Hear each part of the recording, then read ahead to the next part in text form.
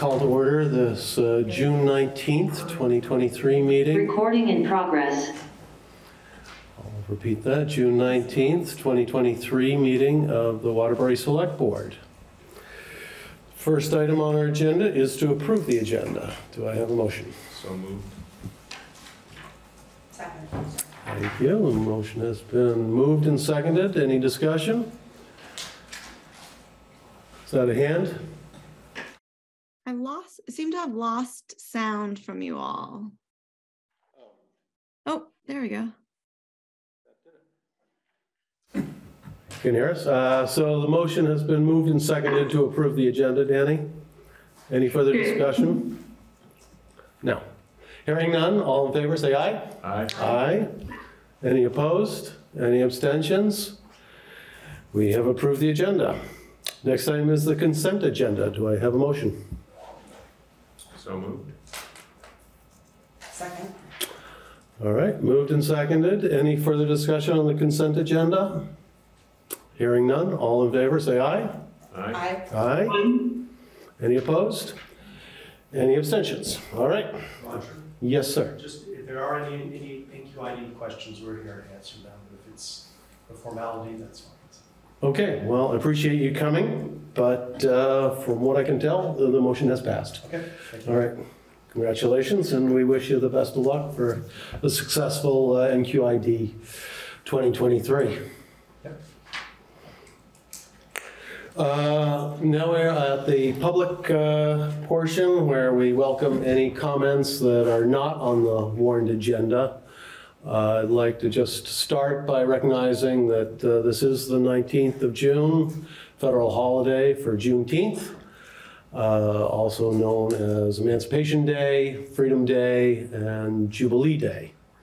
And uh, we are celebrating by conducting the business of uh, the town and uh, also recognizing uh, the historic precedents uh, of, of this historic day. Uh, Secondly, I'd like to recognize the uh, volunteer work of the um, Downstreet volunteers. We had over 20 volunteers from Downstreet come and help us earlier this month uh, with uh, a bunch of recreation projects. Uh, They did a great job, and we really appreciate their support. And finally, I'd like to recognize the contributions to Waterbury by Steve Lotspeich. Steve, uh, you have uh, served ably as our planning director and uh, a leader on the tree committee and our representative on Central Vermont Regional Planning Committee and most recently as chair of the executive committee of the uh, Central Vermont Regional Planning Committee. So uh, we would just like to recognize all your contributions to the town of Waterbury and uh, hope that you're enjoying your semi-retirement. And uh, look forward to any guidance that you might be able to provide on the following uh, items on the agenda. Great. Thanks, Roger, I really appreciate that, means, means a lot. Well, thank you for all your service. Um, Any other uh, comments during this public session?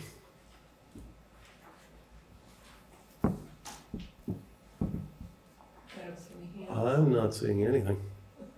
All right. We'll move forward. Tree committee appointments. Uh, We have two candidates for two positions. Uh, uh, Erica Fuller uh, has uh, resigned, and her, the remainder of her tenure uh, expires in 2025, so that'll be a two-year appointment. And then Steve Lotspeich's uh, tenure uh, expires in 2024, so that'll be a one-year appointment. And we have two candidates, Anita Holstrom and Zin Wolf. Either of those candidates in presence? Nita. Nita, can you tell us why uh, you'd like to uh, be on the tree committee?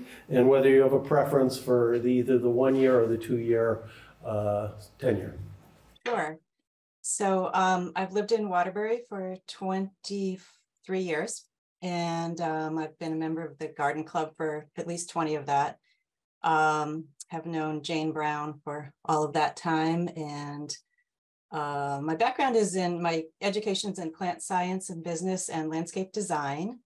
Um, I've been working at Cushman Design Group as the business manager. It's an architecture firm in Stowe for 25 years. And um, just have been really working on my own property, um, enjoy gardening, enjoy taking care of trees. I've planted a bird habitat here over the last 20 years. Um, last year, I completed the certification for the Vermont Master Naturalist Program to get a little bit more environmental training and also the environmental leadership training through um, the Agency of Natural Resources. And just looking for a way to use um, some of my knowledge and really get more involved in the Waterbury community, just beautifying it and creating habitat and everything that trees will do for us. Sounds excellent. Uh, Do you have a preference as to whether you'd like to serve for two-year, in the two-year slot or the one-year slot? Well, I, I'd like to do two, but if one is the opening that works best, then I would do that um, as a start. I- Yeah, yeah. Okay, great. Any further questions from the board? No? Do I have a motion? I can't, I'm not hearing anymore. Oh, boy. Oh, again, Oh, now I got you, okay.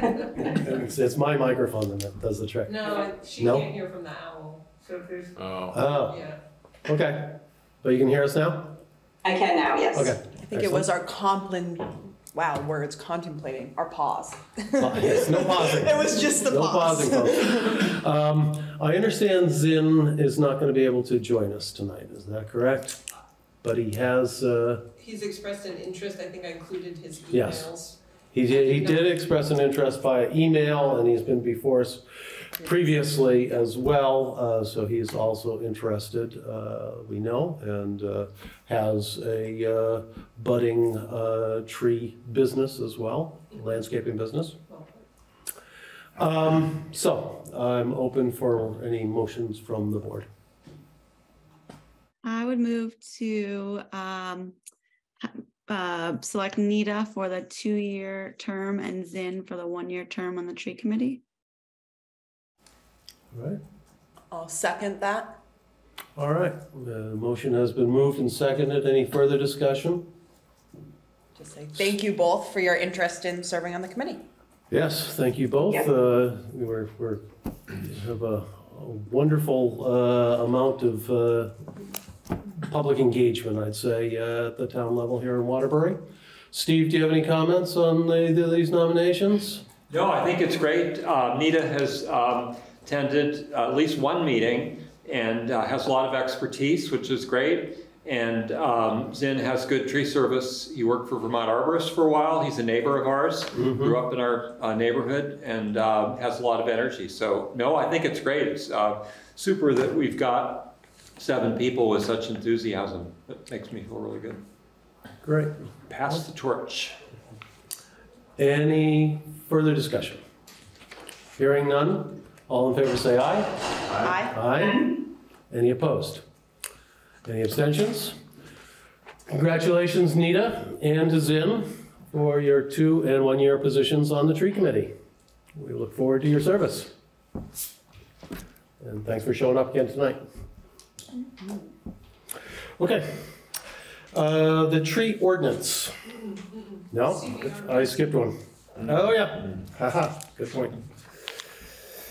The CVR PC and Transportation Committee. Um, So again, we have three positions. Uh, Steve is retiring from his uh, position as uh, Waterbury's Commissioner uh, on the uh, Central Vermont Regional Planning Committee, uh, Commission. And then there's an alternate position. Uh, So we have a commissioner and an alternate. And then we have a position opening up on the Transportation Committee. Uh, And uh, we've got some background on that. Uh, Steve, do you feel like you want to give us any further clarification about the responsibilities of those uh, different positions? Sure, I'd be glad to. Um, I've served excuse me, the longest on the Transportation Advisory Committee, which has a representative appointed by each town. It's a, a separate body. Oh, I'm sorry, yes. um, I have a hard time hearing it whole, let's make it as easy as we can. Sorry. Yeah, we should have to come forward. Steve Lott's Come speech. forward, yes, okay, thanks for, um, yeah, for letting me speak about this. So the Central Vermont Regional Planning Commission uh, is made up of all the Washington County towns and three towns in Orange County.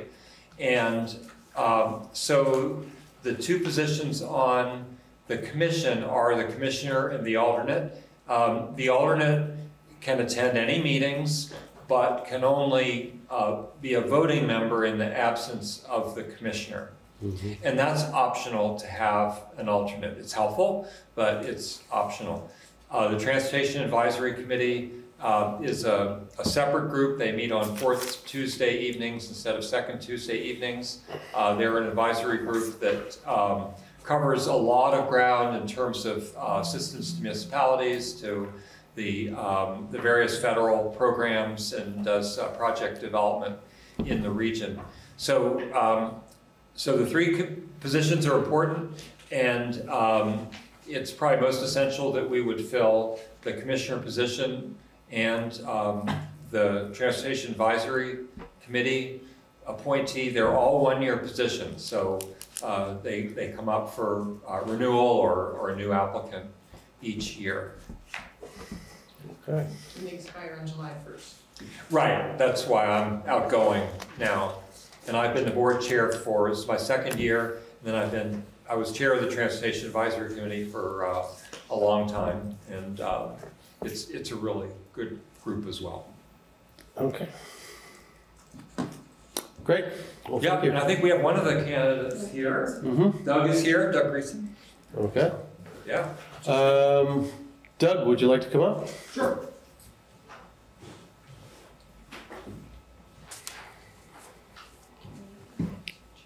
Um, Doug, you've addressed us previously as a candidate for the Planning Commission. Um, Could you explain why you're interested in this position and your preference uh, for, for one of the three different uh, opportunities? Well, thank you. Um, I'm interested in the role on the Regional Planning Commission because I think that suits my background and interests. The municipal uh, code reviews, the brownfields work, the forestry work, those are all things I'm interested in and have some experience in. The Transportation Committee, um, I hadn't been aware before tonight that there was an opening on that and that, that I could be considered for that.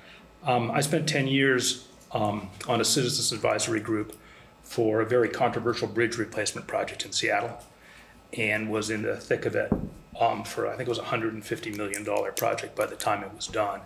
And there were issues with um, economic justice, going through a poor neighborhood, and navigational rights and things like that. And my construction background is well suited to the transportation side of it. So I'd be interested in either position. Okay. All right.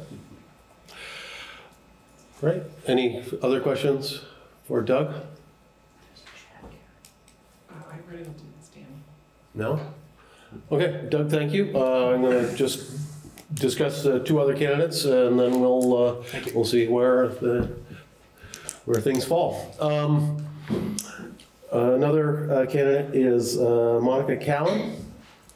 And I believe Monica is not able to join us tonight, uh, but she has expressed an interest uh, in, uh, was it both positions or all three positions or Well, I, was yeah, it I got the information, uh, from Steve that gave the details, which I did send out, but Mr. Gleason's pointed out that he, he didn't know, I didn't highlight it in my email either, I admit. Um, so I don't know what Monica's preference would be. Obviously, all three of them were aware of the, of the CBRP representative position. Right, um, right. and Not as aware of the transportation one. Okay. Um, So that's a great question. I don't know what Monica would wish to be appointed to. Well, and uh, Steve is resigning as of this month, so we actually need a representative for next month. So we- it's important that we, commission. yeah, Uh, Doug, sorry. In fairness, when I read the correspondence, I was looking at the Regional Planning Commission. Mhm. And there very well could have been a reference to a position that I hadn't been contemplating or been aware of. So the notice could very well have been there. Yeah, oh, fair enough, yeah, I didn't highlight it, yeah. Try to be as comprehensive as possible. The other candidate here uh, that has expressed interest is Robert Adler. And Robert, I don't know if you're with us tonight or we have any further information about uh, his uh, interest. But uh, hearing none, um, I will uh, take a motion from the board if uh, the board feels that there, any member feels so moved. And given what Steve told us, I suppose we could have the same uh, individual for both positions as well.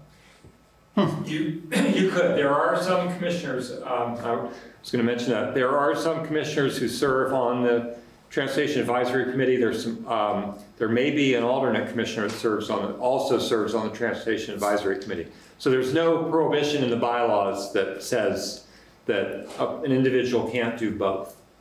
Because, the- of course, the alternate and the commissioner have to be two individuals, but Did you see how I otherwise. did that, Doug? Yeah. Yeah, Given the opportunity to say yes, yeah. uh, King, Doug, would you be interested in doing both? No, thank you. I'm I'm trying to put my foot in here, and get some experience in areas I haven't worked before, and I think Perfect. one is a good table fall. Fair enough. Yeah, you could wait, well, I don't know. Yeah. You could wait on the Transportation That's what Advisory I'm Committee. wondering. You could wait on both, the alternate and the Transportation Advisory Committee, if you'd rather reach out to those individuals and see what their interest level is. It is a time commitment. And I, you may not want to make an assumption about what they would like to be involved with. So that's an alternative, is just to appoint the commissioner and then reach out to them, and then maybe at your next meeting, um, try to fill those other two positions. That's just an idea. that that may be sage advice. Um, Do I have a motion? Hearing that, then I'll move to appoint Doug Greason as Waterbury's new CVRPC um, representative effective July 1, 2023. Um, And then just note for all of us here in the room that we would plan to follow up at the next meeting with Robert and Monica about interest in alternate or transportation advisory committee. Okay, Seconded. the motion has been moved and seconded. Uh, Any further discussion? Hearing none, all in favor say aye. Aye. Aye. Any opposed? Any abstentions? Doug, congratulations. Thank We look forward to your service. And thank you for stepping forward. And uh, we do have a special uh, meeting Oh, yeah. that will be warned for uh, the 28th. Mm-hmm. Right. did warn already, but I can. Yeah, oh, well, okay. Oh, we've, it's already warned? The, It- it- Well, Cool. well, outside the window, we can, okay, outside the window, we could uh, potentially get input uh, on the two remaining positions uh, for that meeting. All right. We can move forward to the tree care ordinance. Um, I know that this has been uh, proposed by the uh, tree committee and uh, with, uh, had some input from uh, our municipal manager. Uh, So would you like to inform us about the origins of this ordinance? So Stuart Whitney is here. Stuart put a lot of work into this draft and did a lot Also, Michael. Bard's neighbor, which is kind of frightening that I'm sitting in his seat. We're gonna move this right here to just keep It's okay. the neighborness. All right, Stuart and uh, Steve, go ahead and just give us a little background on, on this ordinance and Well, why you're supporting um, it. Steve might help with the original background because he's been on the tree committee much longer than I have. Um, but about a year, almost two years ago, we um, sort of got wind on the committee that um, other um, tree committees or tree boards in the state of Vermont were developing tree policies or tree care ordinances for their towns to set guidelines um, on the maintenance and protection of of shade trees. Um, So at, about a year and a half ago, I contacted the Vermont Urban and Community Forestry Program. I spoke with them about this. They sent me some examples of other towns that have done this and, um, and sort of got us going. Um, So between the Vermont Urban and Community Forestry Program, the Vermont Tree Warden statutes, and some examples that we were provided, um, a, I developed this tree care ordinance for Waterbury. Um, It is, it's very bulletproof kind of language, it's very similar to every other tree care ordinance in the state or, or tree care policies.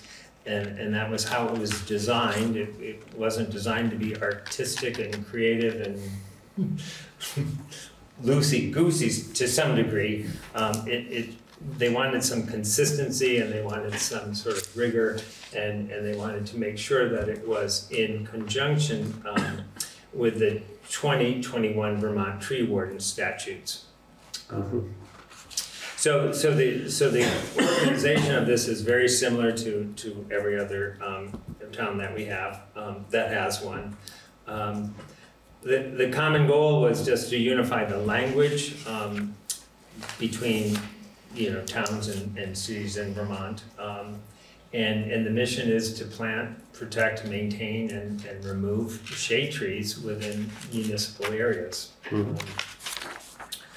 Um, In, along the way, we discovered that most of the tree committees or tree peoples in other cities are called tree boards. Um, so in, in conjunction with this tree care ordinance, we incorporated the change of our committee to tree board versus tree committee to be in alignment with um, what the Vermont Urban and Community Forestry Program was suggesting that we do. And they were pretty much the sort of the tree gurus that, that led this.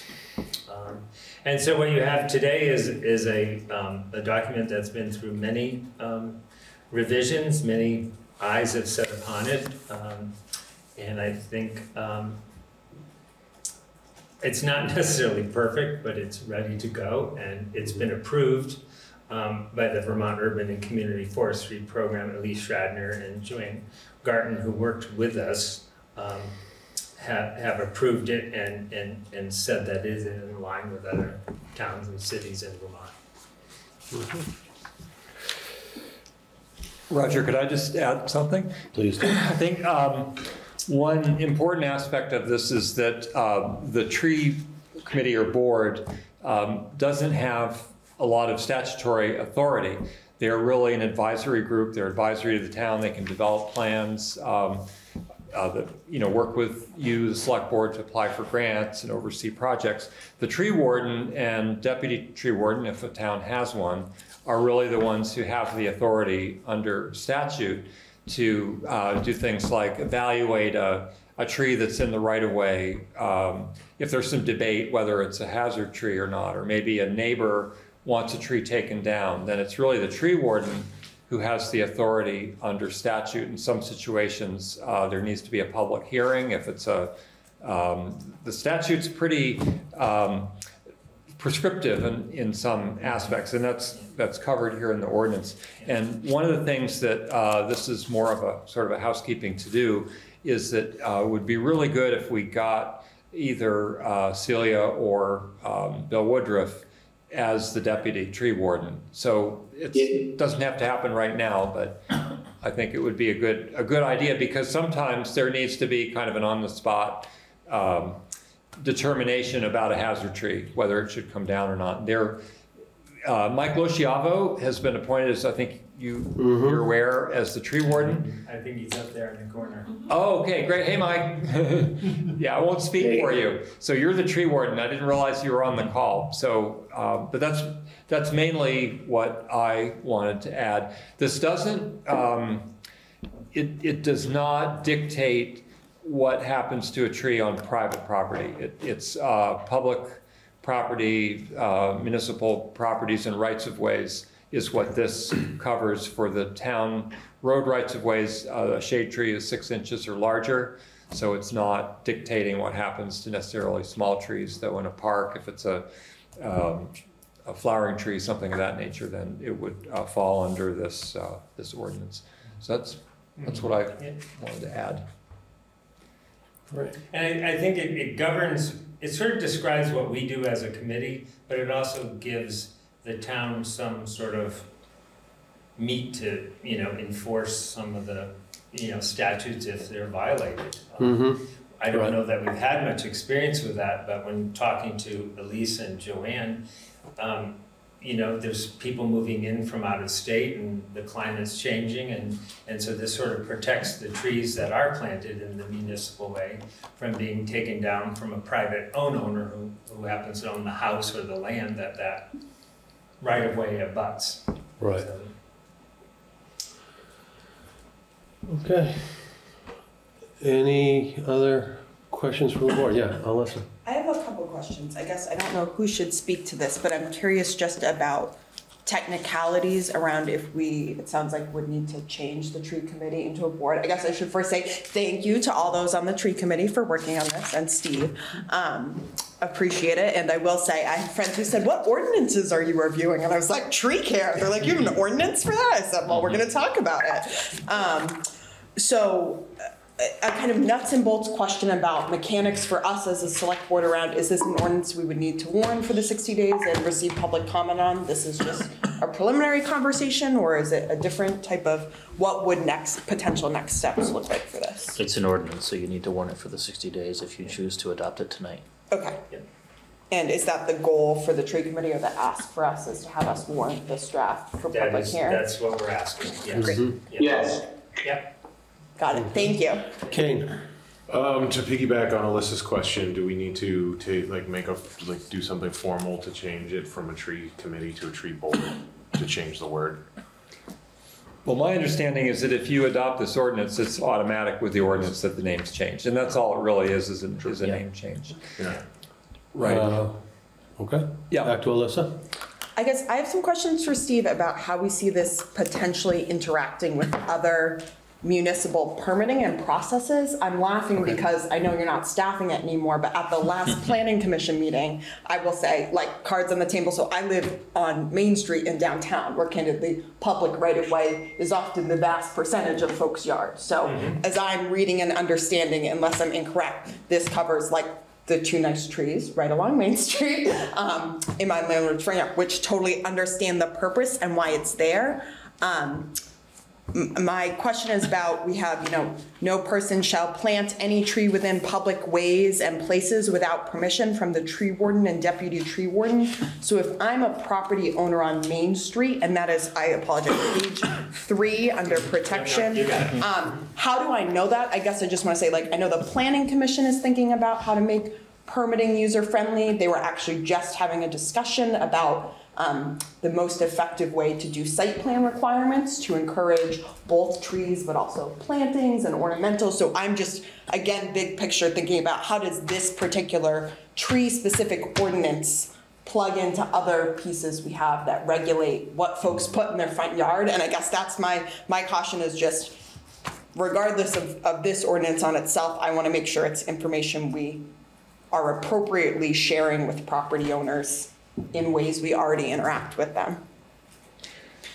I'll, I'll speak to that. Oh, please do.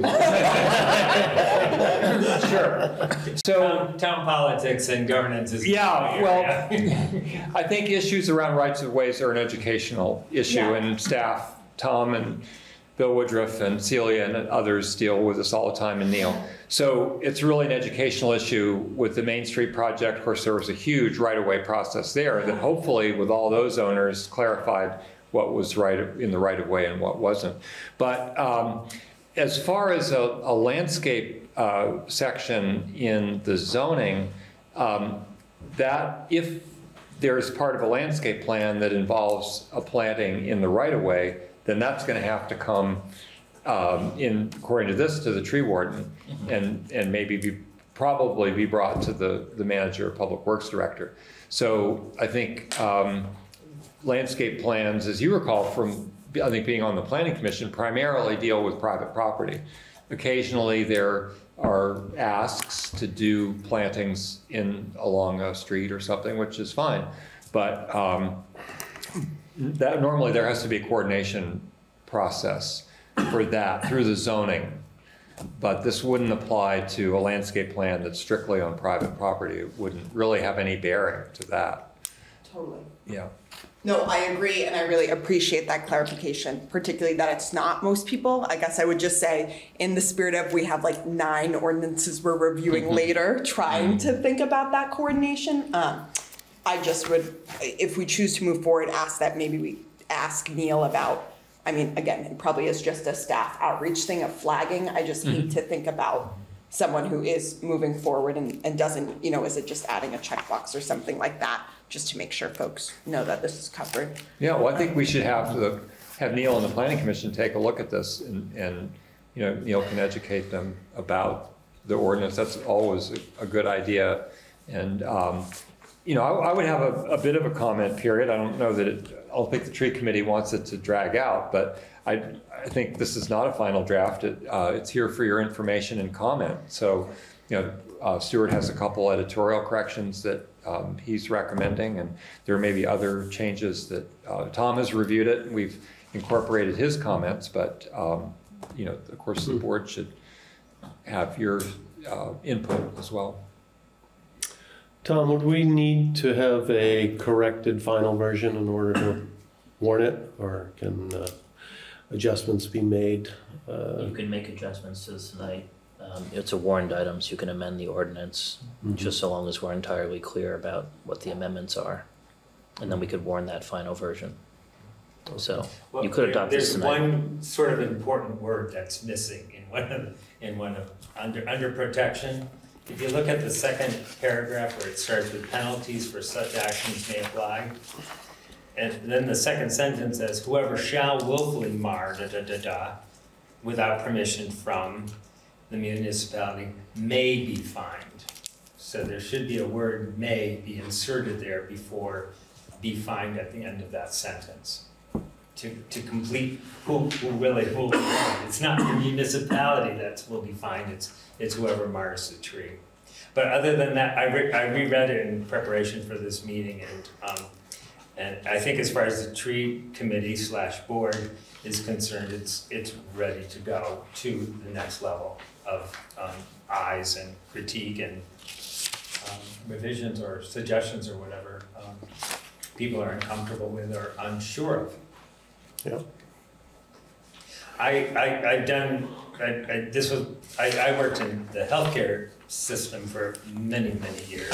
And, and I've dealt with policies and procedures and, and curriculum and blah, blah, blah. And we always treated those as living documents, something that could go back at any time and be corrected or altered or, um, or fixed if, if we discover something is wrong. So, so what we're presenting you today, as Steve suggested, isn't necessarily a final, perfect um, ordinance, but it's where we're at at this point and, and we're ready to go forward.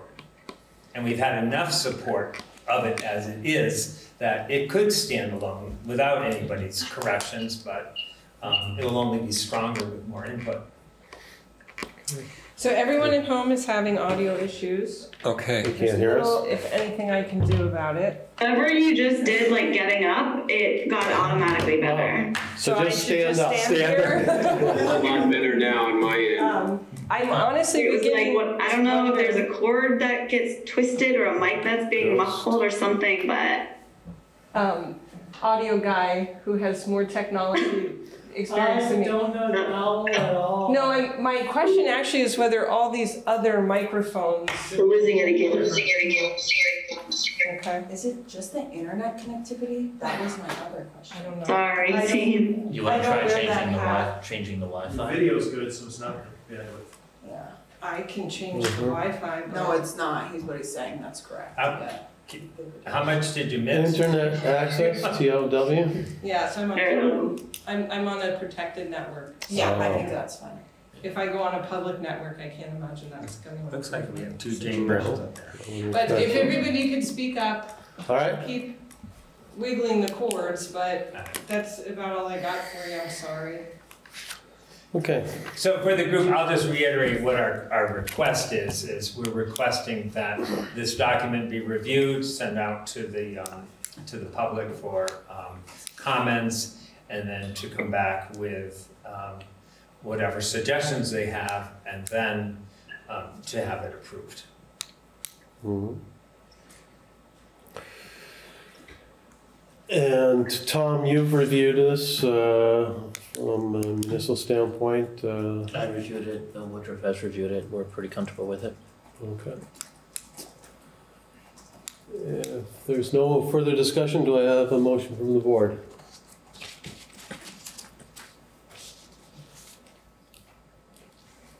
Now I need to be my part, I guess. Oh, they're, they're more. I, c- am I warning it for public hearing or for public comment? Your, your warning to adopt the ordinance. And then the adoption would occur automatically after, then there's a staff process to do the appropriate publications. The adoption would occur automatically in sixty days. Unless there's some form of public comment that causes you to, So it's not like zoning where there's changes and substantive changes, it's just, I'm warning this draft in front of me. I think this draft in front of you with the addition of the word may under the protection section.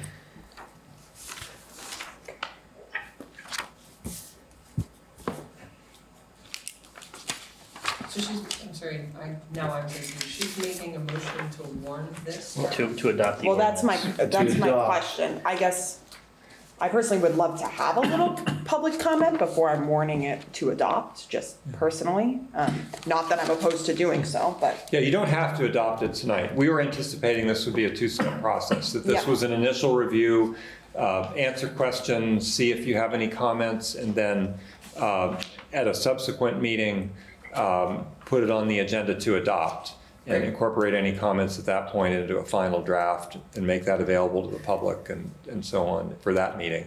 So that's what I would suggest, and it gives you some time to really go through this with a fine tooth comb and let, um, you know, maybe let Stuart and me know if you have further Motion could questions. be to add this to the agenda for July seventeenth.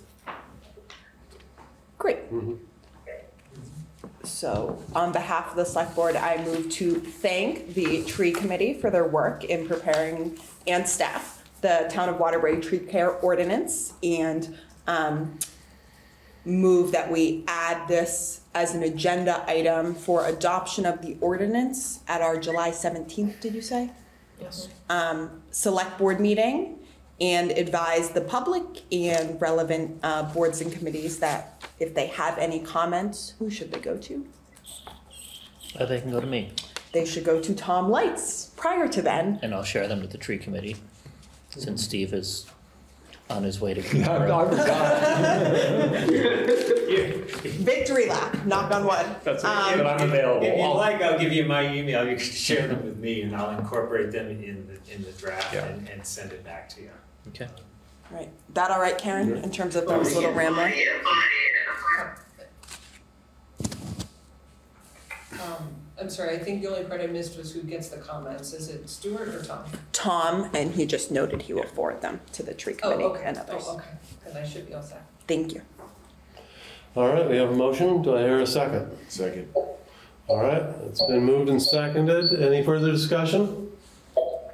Hearing none? Oh, Just, Yes, just one go item ahead. to note, um, they made a great point about a deputy tree warden. Mm-hmm. We should probably put that in the parking lot, just so we don't Yeah, don't lose forget it. that. You're at this Yeah. Yeah, I would add that to an agenda soon. Well, see whether Celia or Bill Woodruff wants, would Yeah, like that. I- okay. That's really something you can handle. I've got a couple other Figure potential that out. candidates too, so. Oh, okay, well, fine, go for it. All right.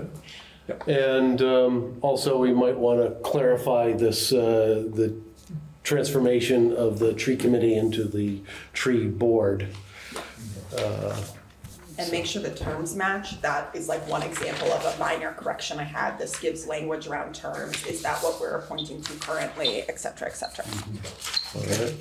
I think all of that is included in the spirit of the motion. Any further discussion? Hearing none, all in favor say aye. Aye. Any opposed?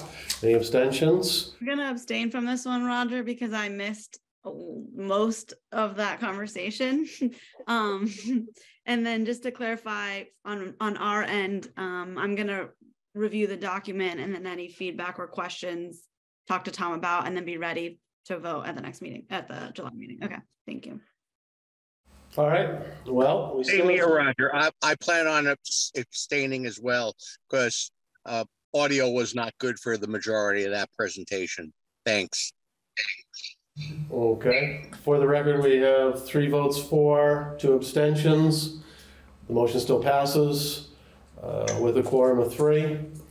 And um, we will address this on July 17th. Thank you very much. Okay, thank you. Appreciate your time. Do you, do you Uh, yeah. All right. Next up, just checking the time, we're still ahead of schedule. Um, The uh, planning director and acting zoning administrator appointment. Yes.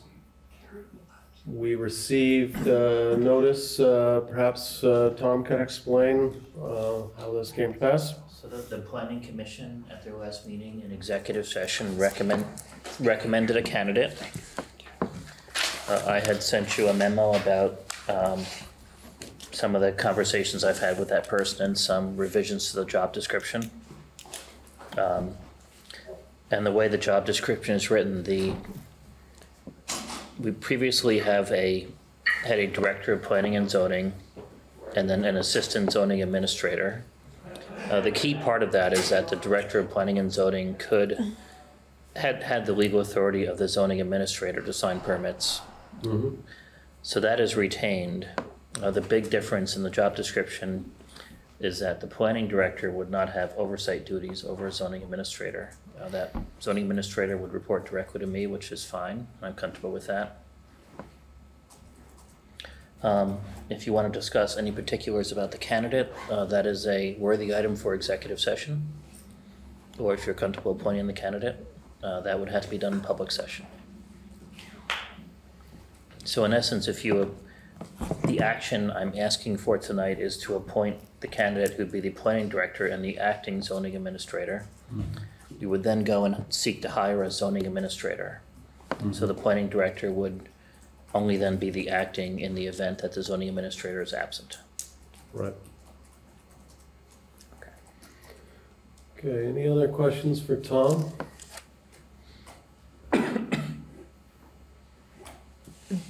They don't ret, oh, sorry. Yeah, Alyssa. I'm just clarifying the, the, um, uh, appointing the acting zoning administrator would be until that position is hired for. Correct. But there isn't like a deputy type model where they have that authority in even a hired zoning administrator's absence to sign permits or no? They would in the absence of the zoning administrator, so absence is not defined as filled or unfilled, it could be vacation. Okay, it could be partial. That was just my question for something short-term like that. Thank you. Mhm. Yeah. I- I personally feel comfortable with the, the proposal, but uh, open to other suggestions from the board.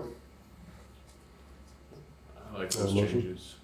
Go ahead. I said, I, I, I like those changes. I think that makes more sense than our previous, uh, job description.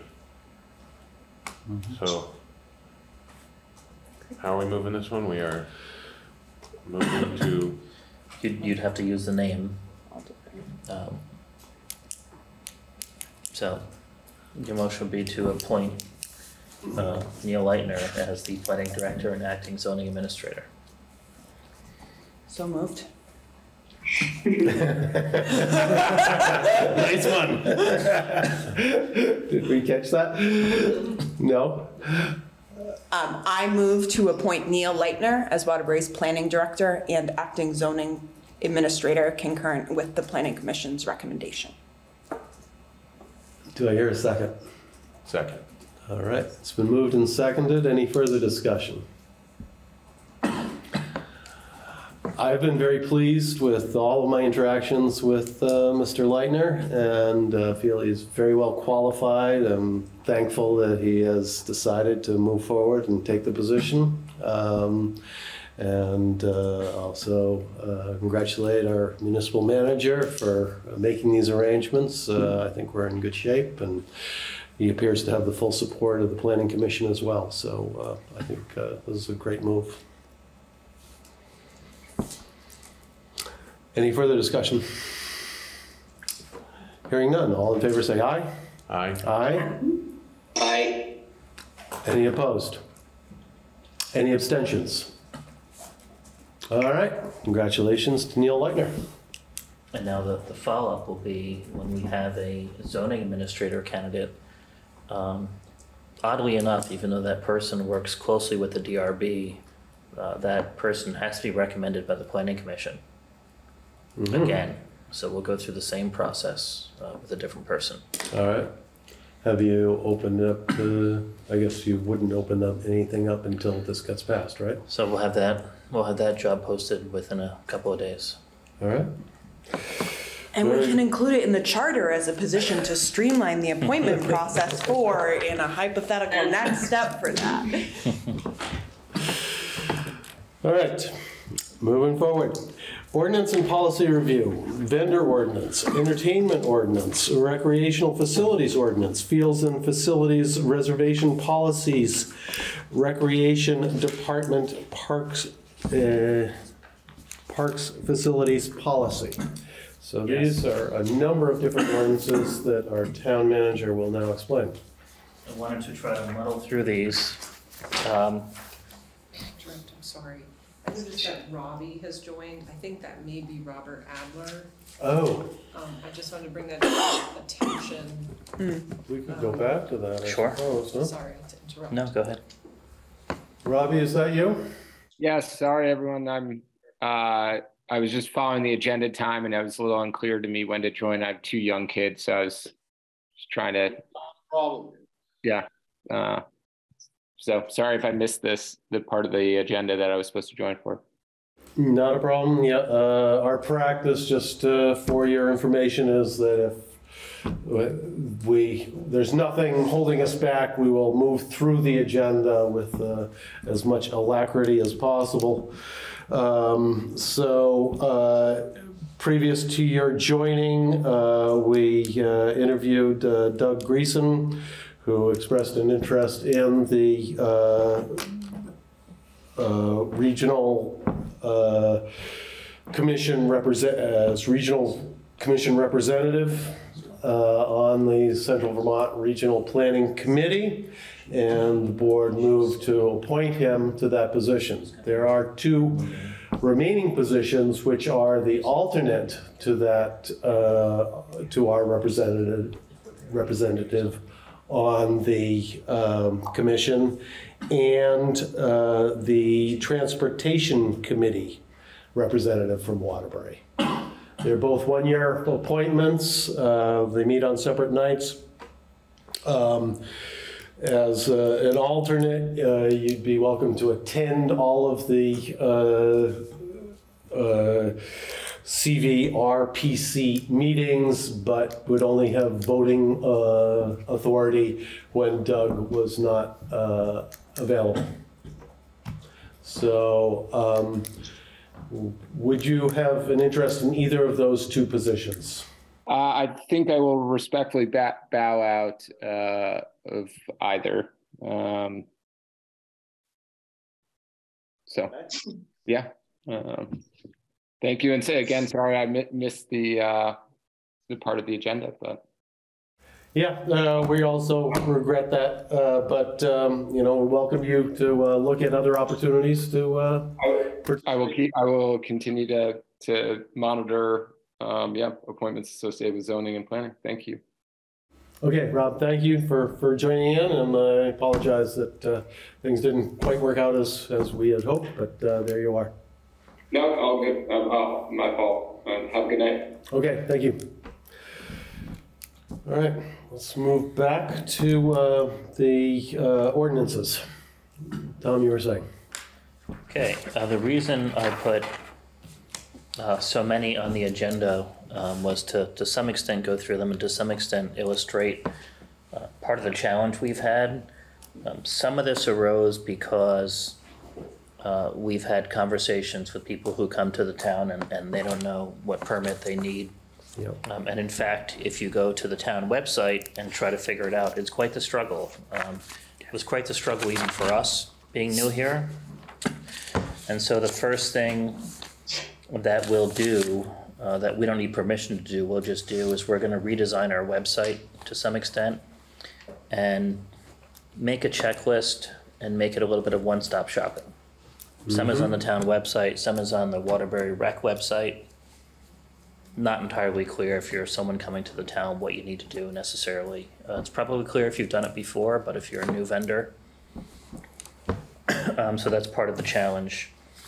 Um, I want to quickly go through a few of these to give you some of the themes. Um, I'd like to start with the entertainment ordinance, which is the oldest in the bunch. And I met with Danny about the entertainment ordinance. Um, and the real challenge here, after delving into it uh, far, is that section one, the definition of show, which really talks about live entertainment, concerts, plays, uh, magicians, things like that. Uh, that definition is embedded uh, and comes from state law. And that old expression, Vermont being a Dillon's rule state, which means you can't do uh, anything locally that the state does not permit you to do. Uh, we had talked about in modifying this ordinance to include parades, which was Mhm. something that was talked about for a while, but in fact, it's not entirely clear we can because parade is not a show as defined by the state. What we could do um, on pages two and three are approval conditions.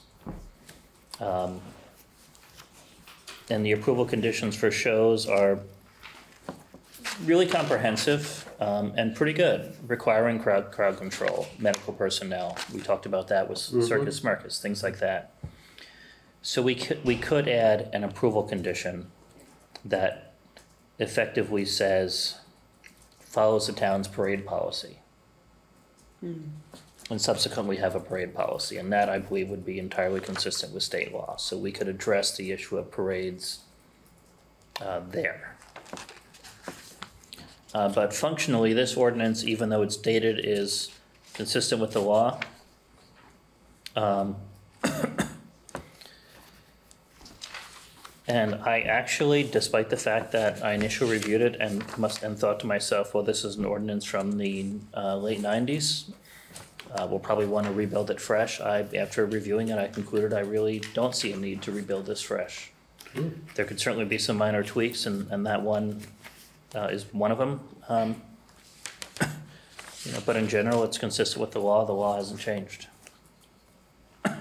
So that being said, since I mentioned parade policy, I did sit down and I did it late, but I finally have a draft parade policy. Okay. So I'm gonna pass that around. And it's, it's quite Why- simple. Danny. Danny? Something I noticed, Tom, is that in Montpelier's special event policy, they call it a special event. Um, not necessarily a show, and it they define it on their own. And I don't know if that's different, be, like a special event versus entertainment versus show, or um, but they just defined it as a race, parade, festival, street initiative, or event that uses public property. So versus like so I don't know. It's just something to, to consider or just keep in the research, but Yeah, I didn't look at Montpelier's. I did look at a number of, uh, not a number, several towns that have uh, their rules about parades embedded into law. Um, and South Burlington is probably the best example, but South Burlington actually has that embedded in their charter. So they've got specific legislative authority to regulate parades, um, and it's quite clear. Um, they don't have to necessarily refer to a somewhat unclear section of state law. Um, but the parade policy, um, I worked on with, uh, Gary Dillon. And we thought, um, to put out in front of you a, a pretty minimal policy that I think hits the highlights. But every parade is different. Um, and from my conversations with Gary, that the challenge um, this past year was uh, the Festival of Lights. Right. Um, and it might be a, a good idea to have a policy in advance, just because we'll have uh, new town staff. Um, so the rec director was pretty involved in that in prior years. With the turnover we have, uh, might not be a bad idea to get in front of it from that perspective. But in essence, um, Gary's suggestion was the policy doesn't need to be incredibly detailed because uh, they ultimately have to answer these questions. This will be in front of the select board as part of their, as part of their permit process for a special event. Um, and each parade is different. The Little, the Little League Parade this year was, how many kids, Karen? Uh, Hundred of, hundred kids, not a ton of spectators. Um, as you can imagine, mostly parents of the, of the families. Um, and then we have two really large parades. Um, and, and I think in general, the folks do a pretty good job planning, but Gary just wants some ability to essentially say, uh, we need to put these things down on paper. We need to make sure that we've got some, uh, some ability to regulate it, some ability to do corrective action in the future. Mhm. Did you try defining a parade? No, because um, the challenge there is I think when you define it, you can limit it. I think it's, um, you know, I guess I'll go Supreme Court, you know, when those things were, uh, I know it when I see it.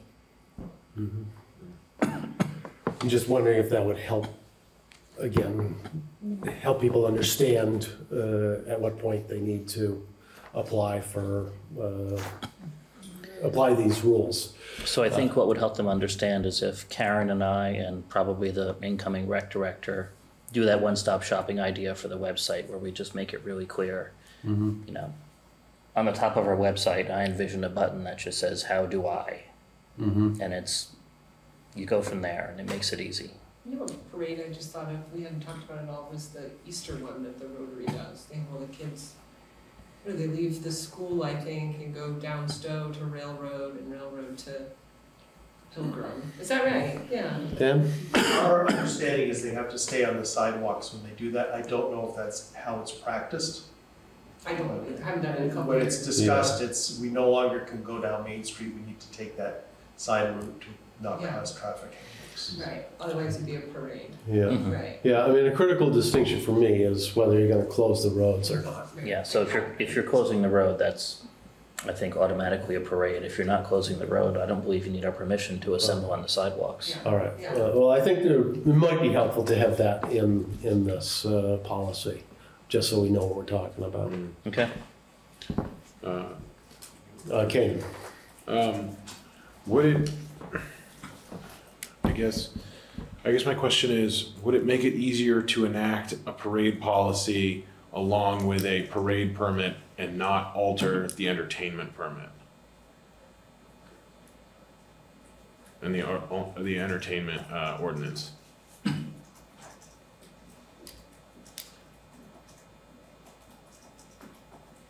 think what you're suggesting is, um, I guess I'm a little bit unclear, uh, what you mean exactly. I th- Um, I I guess what I'm saying is like, instead of taking the parade policy and adding it to the Mhm. entertainment ordinance, we just make it its own ordinance. Its own policy, Yeah, own standalone policy, yeah, just that's what I'm- That's what I was Yeah, suggesting. yeah, I just introduced the entertainment ordinance as a way to say it Oh, doesn't okay. really, doesn't really fit in any one ordinance perfectly. Okay. Which is part of the challenge. Well, that answers my question. So, at the same time, if an organization came to you with an entertainment permit and it involved a parade as part of the entertainment, they would have answered these questions as part of that, as part of, as per the policy. Gotcha. Same if it was a show, same if it was simply a parade. Um, we, because they need it, they need your permission to close the road. Now, at the same time, we have received applications for special events, such as a hundred on a hundred. uh, And perhaps even the uh, walk to school uh, event, uh, where the roads are not closed, But uh, we do ask that they, uh, they, they apply for, for a permit, and I'm not exactly sure which permit they're applying for. But uh, we do stipulate that they should have uh, a safety guard in place at all road crossings. And so how does, would that fit into our parade policy or another ordinance? It could, and that's part of the challenge. So we don't have an ordinance regulating special events that I could find. No, not that I know. Um, So they, we do have a special event permit. That in essence, they ask, they ask the select board to approve the special event, that's really based on insurance coverage. Mm-hmm. So from the staff perspective, we're making sure We have a special, I don't know. Special event permit? permit is the wrong word. When there's a special event, we make sure there's insurance coverage, naming the town as additionally insured. Mm-hmm. If they're doing that event on, on public property. Right, That's, well, we have the vendor ordinance, which they have to have a permit for, this application for a vending permit. Um, that usually, that's only applicable on town property. And it's usually like somebody selling goods or selling food. Yeah. And it, and it's not somebody at the farmer's market, that's an entirely different Right. thing. so the gravel grinder came, not the gravel grinder, but there were permits associated with that Yeah. event for vending. Right, because there were people selling goods at the park. Yeah. Yeah. Well, I'm just wondering, uh, as Dan And I- has sort of suggested, maybe special events is the larger category. Mhm. And then the vendor permit, the parade policy, and perhaps one of these others that, oh, the entertainment uh, Yeah, that's a great uh, idea. ordinance would fall under those, and you could have a decision tree. Uh, on the website to see where, where you're going to Yeah. re- And need is, it is a little permitting. bit of a challenge now to sometimes figure out where to send people. Yeah, Mhm. Mike has the same. Yeah, I'm sorry, Mike. Mike? Mike, can you hear us? Yeah, Mike here, just trying to um unmute. Uh, question, how in the future are we gonna treat like the NQID? Cause like, we kind of had the discussion that it's sort of like a town event. Just, and, but the Rotary's sort of doing the infrastructure. Next year for NQID, are we gonna have Rotary apply for a permit even though it's kind of a quasi-town event? So it's a good question. Um, Probably the best way to navigate that is to have an MOU with the Rotary. We have one for, we have a, we have an old one for Rusty Parker Park that's worked well forever and a day. Um, Right. I don't think we need to get involved with running NQID because we've got a local organization that does a great job. So Mhm. let's let them keep doing it. Um, G- agreed you know and that's probably to me the, the way it should be done you know versus an entertainment permit just have an M- mou on how the how rotary could work with the town on pulling off you know N- nqid you know i'm sure they would be glad to give um you know discussions on road closures and stuff like that any information that that the town needed to know. And, and, and they're the ones who essentially, uh, Al at the Rotary essentially gave us a draft parade policy. We said, Al, what do you do? And in fact, he's, they've got their own policy slash protocol that they've done for a long time. Oh, yeah. Right. Dan, And do you- probably Dan, Mc- Dan McKibben has been the uh, NQID chairperson for Rotary, where Al's like the is the um, park park guru. Yeah, and Dan is here, so we'll ask him to come forward and uh, get his thoughts on the matter. Yeah, I mean, the, the scary part about an MOU is we would document all the work we're taking on by running this event year after year. Um, I, I just, I look at it from what's the least overhead for us from an execution perspective. So if, you know, filing an event permit is a, a- just an additional task, um, I'm fine with doing that. If, you know, if you want to, you know, if you want to do an MOU, we can talk about that, but, uh, you know, seeing what we're doing through Rusty Parker Park, that seems like maybe more formality than we need for just an event. Yeah. Uh-huh. And for background, at least My understanding of the background is the big challenge here is at the Festival of Lights last year, some new staff in town. Uh, what happened is one, the road was closed way in advance of the of the parade, the event, which didn't need to happen. And two, some of our town vehicles were parked blocking the road with no one there. And so the fire chief naturally was unhappy after that and said, if there's a fire, I got to get through somehow. Yeah. Um, and, and if I've got to knock over a, a rec van, guess what? I'm, I'm plowing the truck into that van if I have to.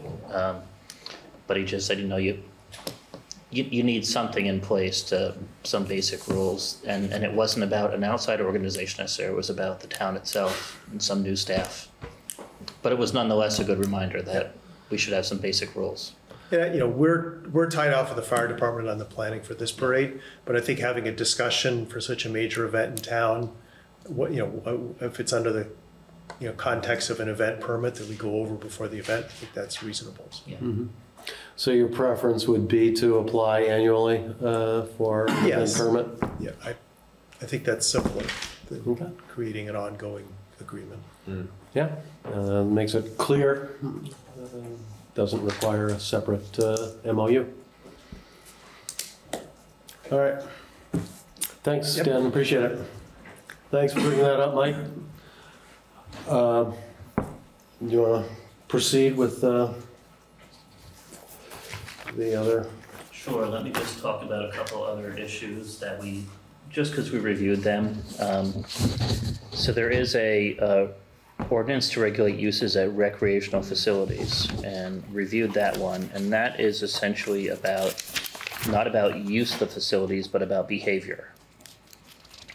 Um, So there were two interesting notes in that ordinance, uh, and that one's 2002.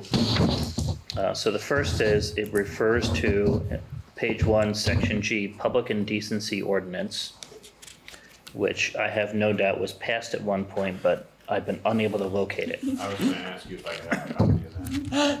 So we're gonna keep looking, and it might be deep in the archive somewhere. Um, But it's not on our website. I'm searching for what I could, I couldn't find anything about it yet. Um, May And not this. be suitable for public uh, discussion. It's true. Um, uh, and then the second piece, um, on page two, under impermissible uses, I just want to point out that camping is an impermissible use Hmm. uh, at our recreation facilities. Uh, so when that homeless conversation comes up, it's interesting to, to know that we've effectively have an ordinance governing this already. Does that mean that uh, we are, don't have the authority to uh, allow camping uh, if it's uh, requested? That means if someone's camping at a, one of our recreational facilities, they're not legally doing it. So we have the authority to, But we have uh, the authority to grant an exemption uh, if uh, there's a special event and the Boy Scouts want to do a sleepover at uh, Hope Davey or something like that. I, I think you certainly do. Okay. I was just gonna say, could, can it be amended, just exclude camping? It's like, you know, gonna interfere with recreational activities. I think sometimes things are on the books and how we're enforcing them is another manner of deploying them. Yeah. Or not enforcing them. Okay. Uh, but again, didn't see a need to do any major updates to this ordinance, uh, even though it's a bit older. I concern section three, Mhm. I feel like we're gonna get sued at some point over that, possessing firearms. I know that's a very unpopular opinion, but I feel like someone could potentially. Exercise their Yeah. Second Amendment rights? Yeah. Let me dig into Concern that. of me, of mine. Let me dig into that a bit. I do know Yeah. it's quite common for towns to not allow firearms on their own property. Right. That, I just had it underlined, because I was like, hmm, Yeah, but this is just our parts though. yeah, Mm-hmm. okay. And is the enforcement officer uh, identified? in this? As defined in the definition section. As named in the definitions section. Police So- officer, pool director, associate pool director. Two A. Oh, yeah. Okay, yeah. Um, Pool director, assistant pool director, program director. What paragraph is that? Um, it's, well, I was Right on looking farther down, but it's actually defined in uh, section two A as to who the enfor- enforcement officer shall Oh, mean. right here, right in front of me. Um, May I? I have another question.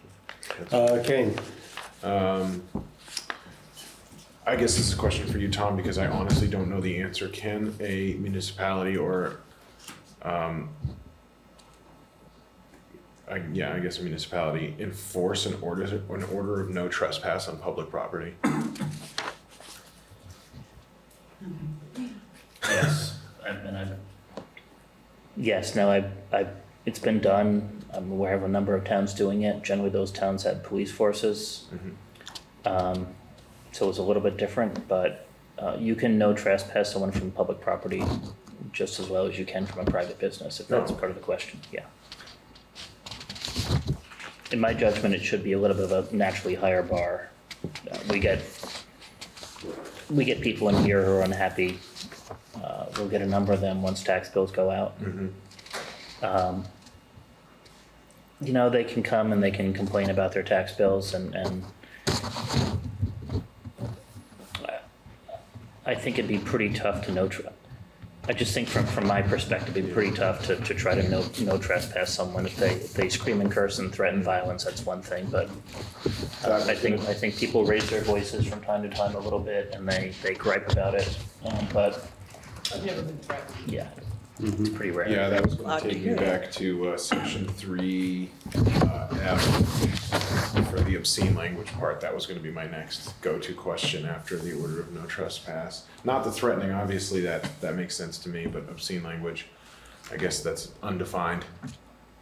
It's at the discretion of of the the enforcement officer. Yeah. Mhm. And a lot of this, I think, is focused on just kids at the pool, kids at the day camp. Gotcha. Mhm. Right. Different uh, situations might, might call, call for different uh, definitions of what is Absolutely. considered obscene. Absolutely. And if it's one of our campers, there's a pretty easy solution. We can send them home. Right. Mhm.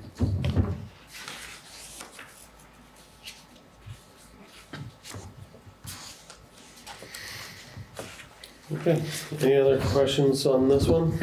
Or anything else you want to call to our attention? Nothing else in that one. Um, uh, There's a- another one, and, and this is part of our confusion. There's a recreation, which is misspe- misspelled. Recreation, Recreation. Department of Parks Facilities Policy. This policy exists on the Waterbury Rec website. I downloaded the doc, no, I could, I could find. With the same misspelling? with the same misspelling. I downloaded the document, went into the document properties, and it said document created in, in 2019. So I looked through a year's worth, or or even more, worth of meeting minutes around the creation date of the document for both the town and for the Recreation Committee, uh, and found no reference to this policy anywhere. And it's not on the, on the town website where adopted policies are located. So We have a relevant Guidance. policy. Yes, uh, We may. It may have, been- it may have been something developed by staff. I think And I'm waiting for, for Frank Spalding and the rec committee to see if he knows of any conversations around this in the past, and he's been on the committee a while. Uh, but it's, it's quite detailed, um, to the point where, you know, we're talking about the sixth priority for someone who might want to use a recreational facility. Um, So a lot of effort was put into it, and I would suggest that, um, it's pretty darn well written. And With the exception of the title. with the exception of the title. Which could be a program this summer for the kids, recreation, you know, you So- get out there. you- It could be purposeful. As You're a right. general point of information, the default setting in Microsoft Word is that spell check does not spell check all caps words for anyone who might be writing anything ever anywhere from a terrible speller. Anyway, So I would suggest, not for today, it's pretty detailed policy, but I would like to uh, forward this to the rec committee. And I, and I, I think they should have the opportunity to, to review it, massage it as they see fit, and I think they should bring to you this policy at a later date. Um, cause it makes perfect sense. Uh, you do at the same time have an adopted parks and facilities reservation policies, which goes part and parcel with this other one. So you can see part of our mm-hmm. confusion here is we've got, You got some intersection. Are these we've got a lot of conflicting intersection. policies? The ordinance and the, and this policy, are- is there anywhere where they conflict? Where the rules are different? If you read it closely enough, there probably is. Yeah. Um, the policy is far more detailed, the, the unadopted policy is far more detailed than the opt, the adopted policy. So what I think the rec committee should do is give us one. Of these two, the reservation policy and the uh, facilities Because the, policy? par- the parks facility policy literally gets down to, here's our criteria for allocating our public spaces. Right. Uh, that's essentially a reservation policy, if you will. Mhm. Um, reservation policy is a little, So you need to is a little more. meld these two together. Yeah. Okay. Um, and then Karen and I can do the work about putting it on the website, making it clear where you need to go, what you need to do. Do you need a uh, motion from us to uh, direct this to uh, the rec committee? Uh, I don't, if you're comfortable with it, I can just give it to them and. And- I think we can do it by consensus if everyone's agreeable. Yeah, it seems like there's a lot of really good stuff here. There's just too much of it. So I think that's a perfect path. Yeah, that's the issue. So we can at least in this case, I think, take two and create one. Mm-hmm. I did want to just point out really Go ahead. quickly, um, with the amplified sound policy and the reservations, Mm-hmm. uh, written the reservation fo- policy is exclusive to Rusty Parker for eighty-five decibels. which is because there was a former village ordinance that me- had a Oh, sound okay. limit but wouldn't apply to the rest of the town. Gotcha. If, if that's the reason, I can imagine that was in there, but probably Okay. should be updated. But, well, yeah, because they, they had jurisdiction uh, in Rusty Parker Park, but uh, we have other village properties, uh, like right down over here, Anderson Park and uh, the uh, ice uh, center area that are also likely to have amplified sound at some point. So it sounds like, um, the suggest, the earlier, just so I'm clear, the earlier suggestion people liked was Danny's where we should, um, try to write a policy that better captures the special events, like the gravel grinder.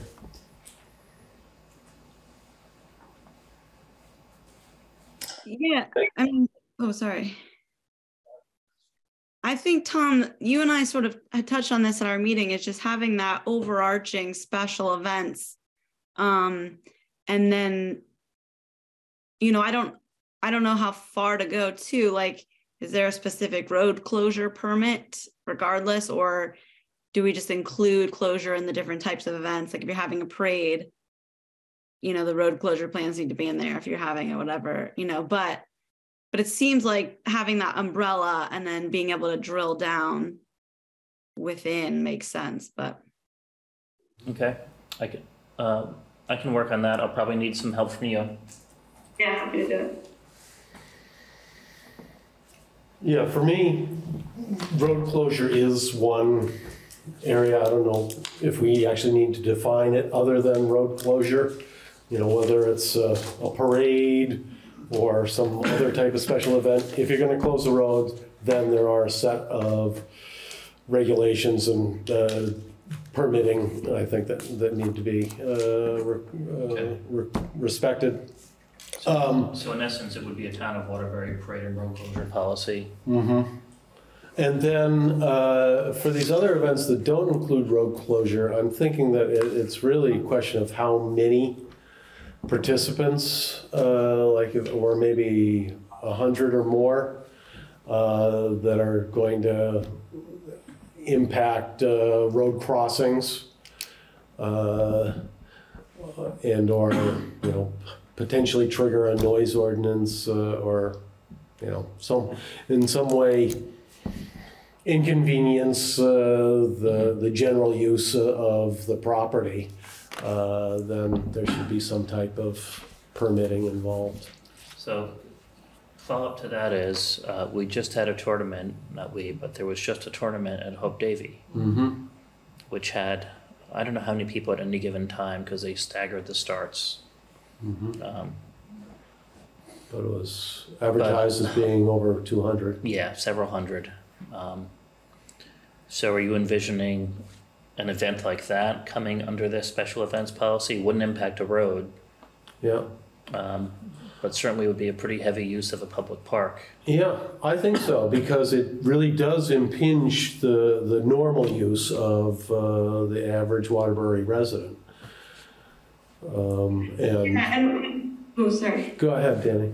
And I, you know, I think Tom, we had touched on this as well. Like that application for the special event can have an if then component. So if you have over X amount of people, you just need to let us know what's going on and get our approval. If you have over X number of people and vendors, then you need to do your vendor thing, you know, so there's that. And I, and I, it sounds overwhelming, but I think we could organize it pretty neat and clean so that when folks look at a special event, they can know, oh, I need to check off this, this, and this box. Or all I need to do is say I'm having a special event and let the select board approve it. And I did take a look at the uh, Montpelier website, and there's, I mean, it- it's not the last word, but it is a uh, reasonable attempt at uh, doing sort of one-stop shop on the website, which I think really should be our goal here, so that people don't have to bother Karen. They can just look on our website and say, oh, I need to do this, this, and this for what I'm planning to do. Uh, Mike, sorry, I didn't see your hand. Uh, just a, just a brief comment. I think it's hard with some of these events. Some of them you just don't know how many people you're going to have in a in a parade or a, some sort of a road closure event. You know, sometimes when you think it's going to be 50 or 100 people, it could wind up being 250 to 400 people. So I don't know how how we deal with it. I do agree that it should, you know, any kind of road closure should fall within, you know, some sort of special events, you know, for a parade or a special, you know, kind of different kind of activity that as as I think Roger eloquently said, it impinges upon, you know, local Waterbury residents.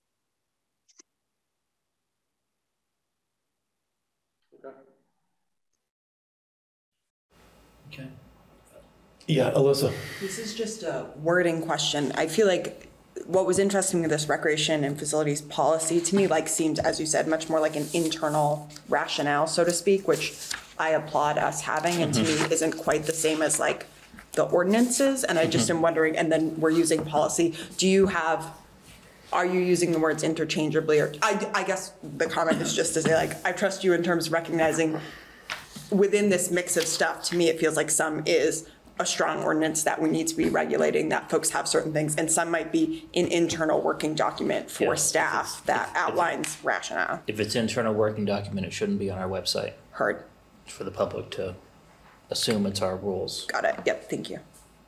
I, I hear what Alyssa's saying though, the policy Yeah. and ordinance kind of keep getting inter, intertwined.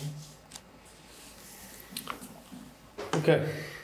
You've got all the direction you need from us? I think so. All right. So we'll keep moving it forward. All right, thank you. Appreciate all your work on that.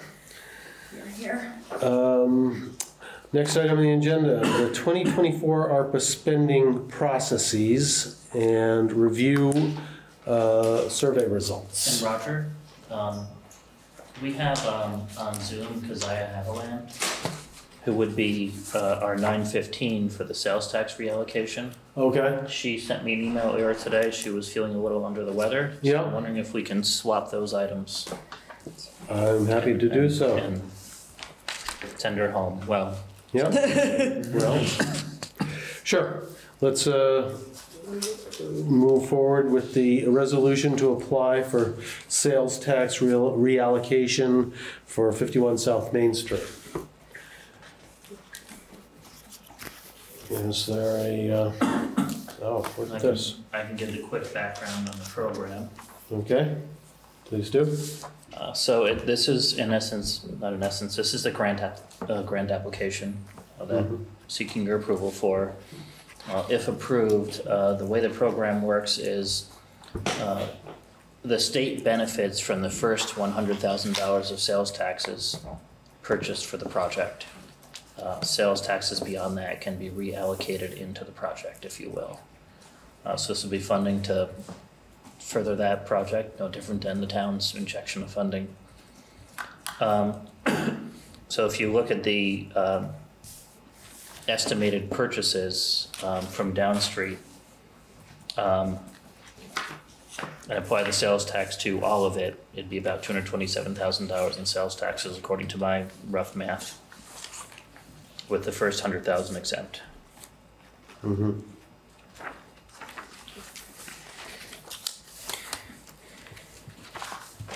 Because I can fill in the gaps, uh, that might, might work for her. I'm, I'm happy to answer uh, any questions to the best of my understanding on the, the program or the project. Um, unfortunately, Nicola couldn't be here tonight, so you guys get me. But um, I'm, I'm happy to, to do my best. I think you gave a, a great, you know, few line synopsis of what the, the program is, but essentially it, it takes that sales tax and reinfuses it into the project in a grant form. Uh, Yeah, I think, uh, I think it's a great use of uh, those funds. Uh, Other questions from the board? Yeah, Alyssa? Tom, can you just repeat, is the hundred thousand the amount that can benefit the project? Or I'm seeing sales tax reallocation request a hundred thousand, just page one. Um, Is it over the hundred thousand that goes? Again, just, this is minor, I'm just trying to understand what you just said about the two seventy-five. Is it the one seventy-five over? My, my understanding from reading the program guidelines is that the first hundred thousand dollars does not benefit the project. So it goes just to the state as it And then- would, like if I paid sales tax on goodness knows Mhm. what? And then Okay, beyond that, it would go back to the project, so it would flow through the town. got it. Got it, so it's returned, so essentially that amount of sales tax from materials is returned, great. And you're looking for a motion from us to reallocate uh, those funds To, to. back to Downstreet? Approve the funding application. Yeah. ask us to have the town approve the application so that um, it's not just us sort of going rogue and not working with you all through the program. Right. Alyssa? I would move to approve the 2023 sales tax reallocation program application um, from Downstreet Housing and Community Development for 51 South Main Street. Um, And I just wanted to note online that this is a benefit of us being a designated downtown. So seeing as we just made an appointment in planning and zoning who helped us get that designation many years ago, and we fund revitalizing Waterbury every year, which helps. I just think it's an exciting example that we're applying for something we're eligible for specifically because we are a designated downtown. I happily second. All right, we have a motion, moved and seconded. Any further discussion? Hearing none, all in favor say aye. Aye. Aye. Aye. Aye. Any opposed? Any abstentions? All right, congratulations. Uh, This uh, 2023 sales tax or reallocation application has been approved by the board. Thank you all so much, and I appreciate your bumping it up. Right. Have a good night. Thank you. Thank you. All right. Now, we'll go back to the ARPA spending processes and the survey results. Uh, which uh, Tom had forwarded uh, by email earlier.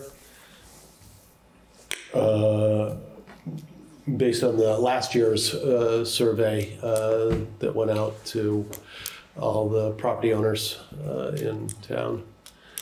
And also uh, was up on, uh, on our website.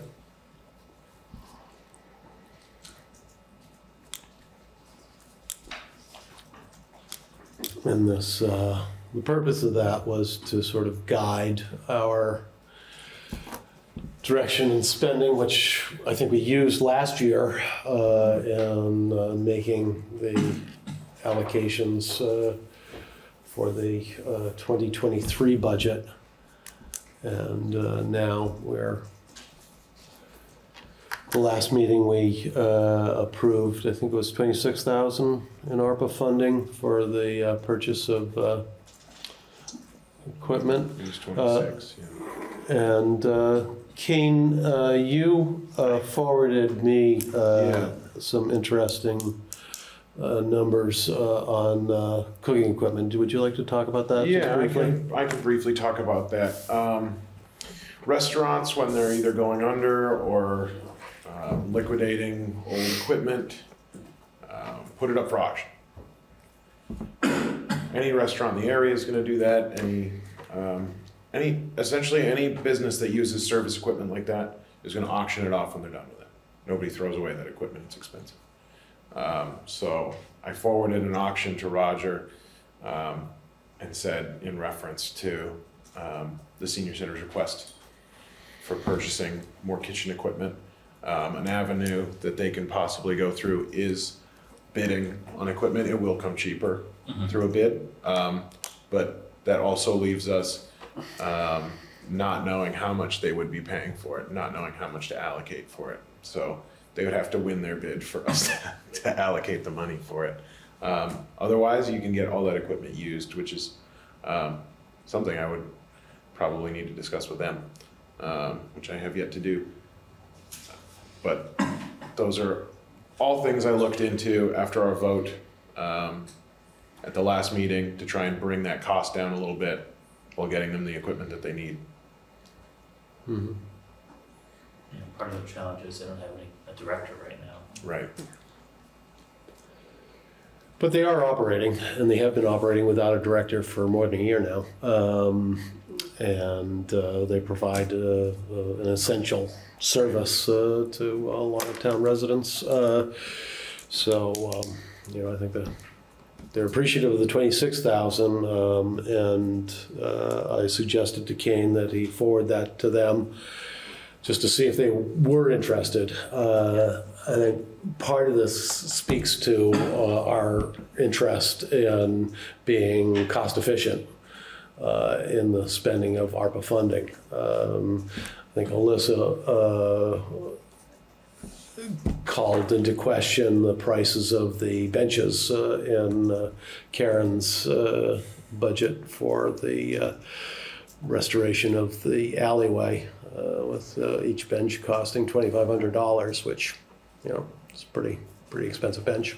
And I guess on, on reflection, I too uh, wondered whether that was a, uh, uh, a naming opportunity for fundraising. Uh, you know, you see a lot of these benches with, uh, in honor of or in memory of uh, a certain individual, and often that comes with uh, a substantial financial donation that would obviate the need for further uh, ARPA funding.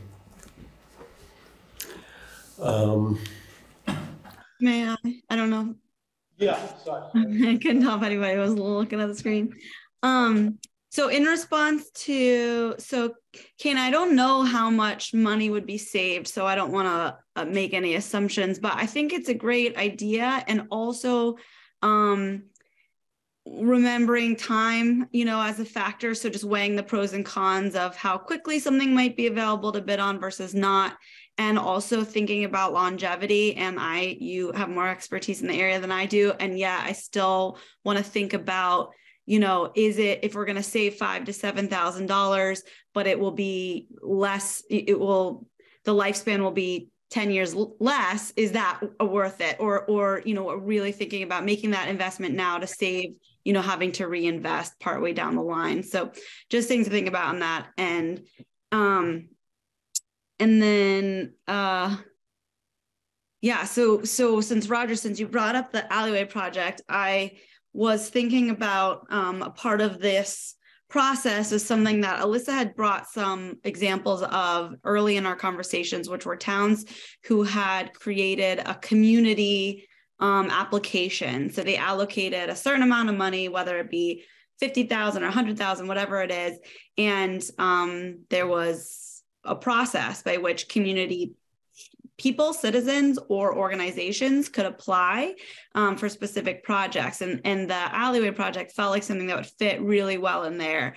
Um, it would take developing an application and some criteria for, um, you know, assessment. But uh, if we put, you know, a bucket towards just that, it wouldn't be known that it was for things like art or beautification or revitalization outside of things like infrastructure and human services and housing or things like that. So I think I'm I'm a big proponent of that. I know it'll take a little bit of work, but I think it creates a nice clear process instead of you know sort of that feeling of flying by the seat of the pants which which we have been for a little little bit recently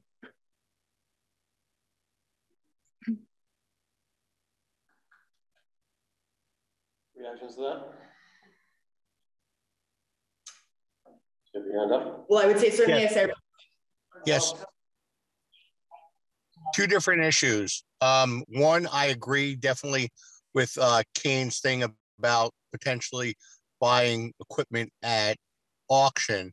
And the way you could do that with them is, you know, the, you know, auction, you know, as a lot of, you know, restaurants, you know, it's probably one of the most fragile businesses that there are. So there are a lot of failures. So there is a lot of actually good equipment out on the market. What we could do is give the senior center kind of an up to amount so they could go in it with eyes eyes wide open so we could say you know we're willing to give you so much and that's where they know where they're bidding can be so if it goes above that you know they may want to look at another auction as to the question about the uh, the walkway and the alley project, I don't believe, you know, I'm on the uh, fundraising committee for revitalizing Waterbury in regards to the alley project. And I don't believe that the actual cost of those benches are $2,500 each. They're probably closer to, you know, $1,000. You know, that's, I think, more for you know we're looking at at folks that can donate that amount toward the uh, whole project and the good part about it is the alley project is you know about 50% funded already which i think is a very positive thing so you know that's going to encourage donors but you know we had a lot of conversations as to you know should we have uh, benches named and stuff like that. We didn't want to get into a situation where, you know, every little piece of the alley was going to be, uh, you know, having like quote naming rights. So that's still a, a work in work in progress. You've sold a lot of bricks already, um, so a lot of pieces sold. Right. The bricks are something that's really separate. That's already been done. You know, that's going to acknowledge things. But I think what we're going to be looking at is some sort of a plaque to acknowledge, you know, donors at different at different giving letters rather than, you know, having, you know, this much for a planter, this much for a uh, bench, this much for, you know, a sign on the wall. And, I, you know, I think that's still a work in progress with the fundraising committee. And what, I had one question, Mike, sorry, um, about, uh, in closing, uh, Karen said that she thought that the project would be going on for another two years, uh, almost regardless of whether we gave her the 20 or not. Um, Is that your understanding? I mean, I guess. I think that's a long, a real long run. Yes, if they can't raise the money, they don't, you know, they don't want to go forward. But I think, you know, they're looking at this year and max next, almost for looking at construction sometime in 2024. But yes, they have to have the funds before they could go forward. So if the fundraising doesn't go the way that they predict, you know, again, they're 50% in the good. And that's where in the, and that's what I stressed in their fundraising letter. They should state that because a lot of people don't want to give to a project unless they really feel the project is going to happen. And that that's one of the reasons why I said, because they said, you know, they used, you know, a little nebulous, like a significant amount of funds. I said, no, you want to say that we have raised half of the money already. So, you know, people will know this is a project that's going forward.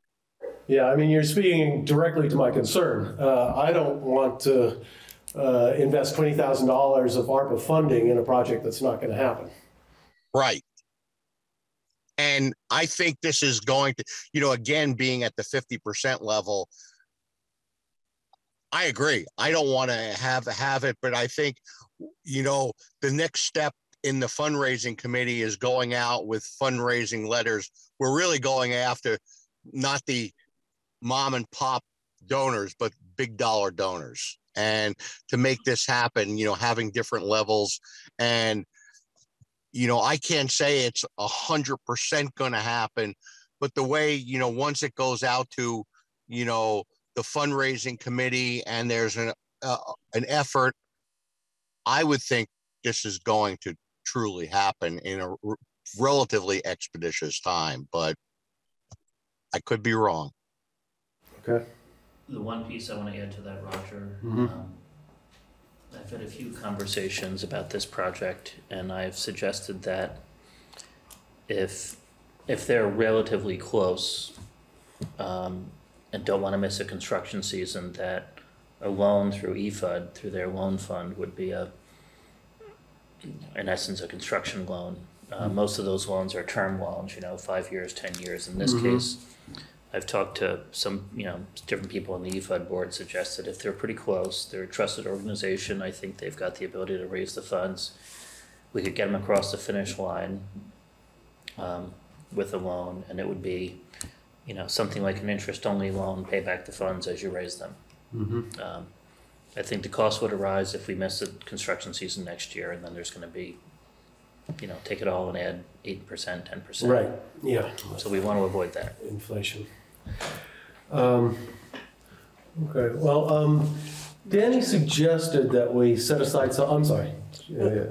I mean, if you want to go generally before, I, I'm probably going the same direction as you, but I guess I just wanted to say kind of that like zooming out um, of I applaud, you know, I guess I would say one, I think my comment with RW was specific, but I appreciated Danny's framing to kind of take it to a higher level about kind of what proposed uses of ARPA are.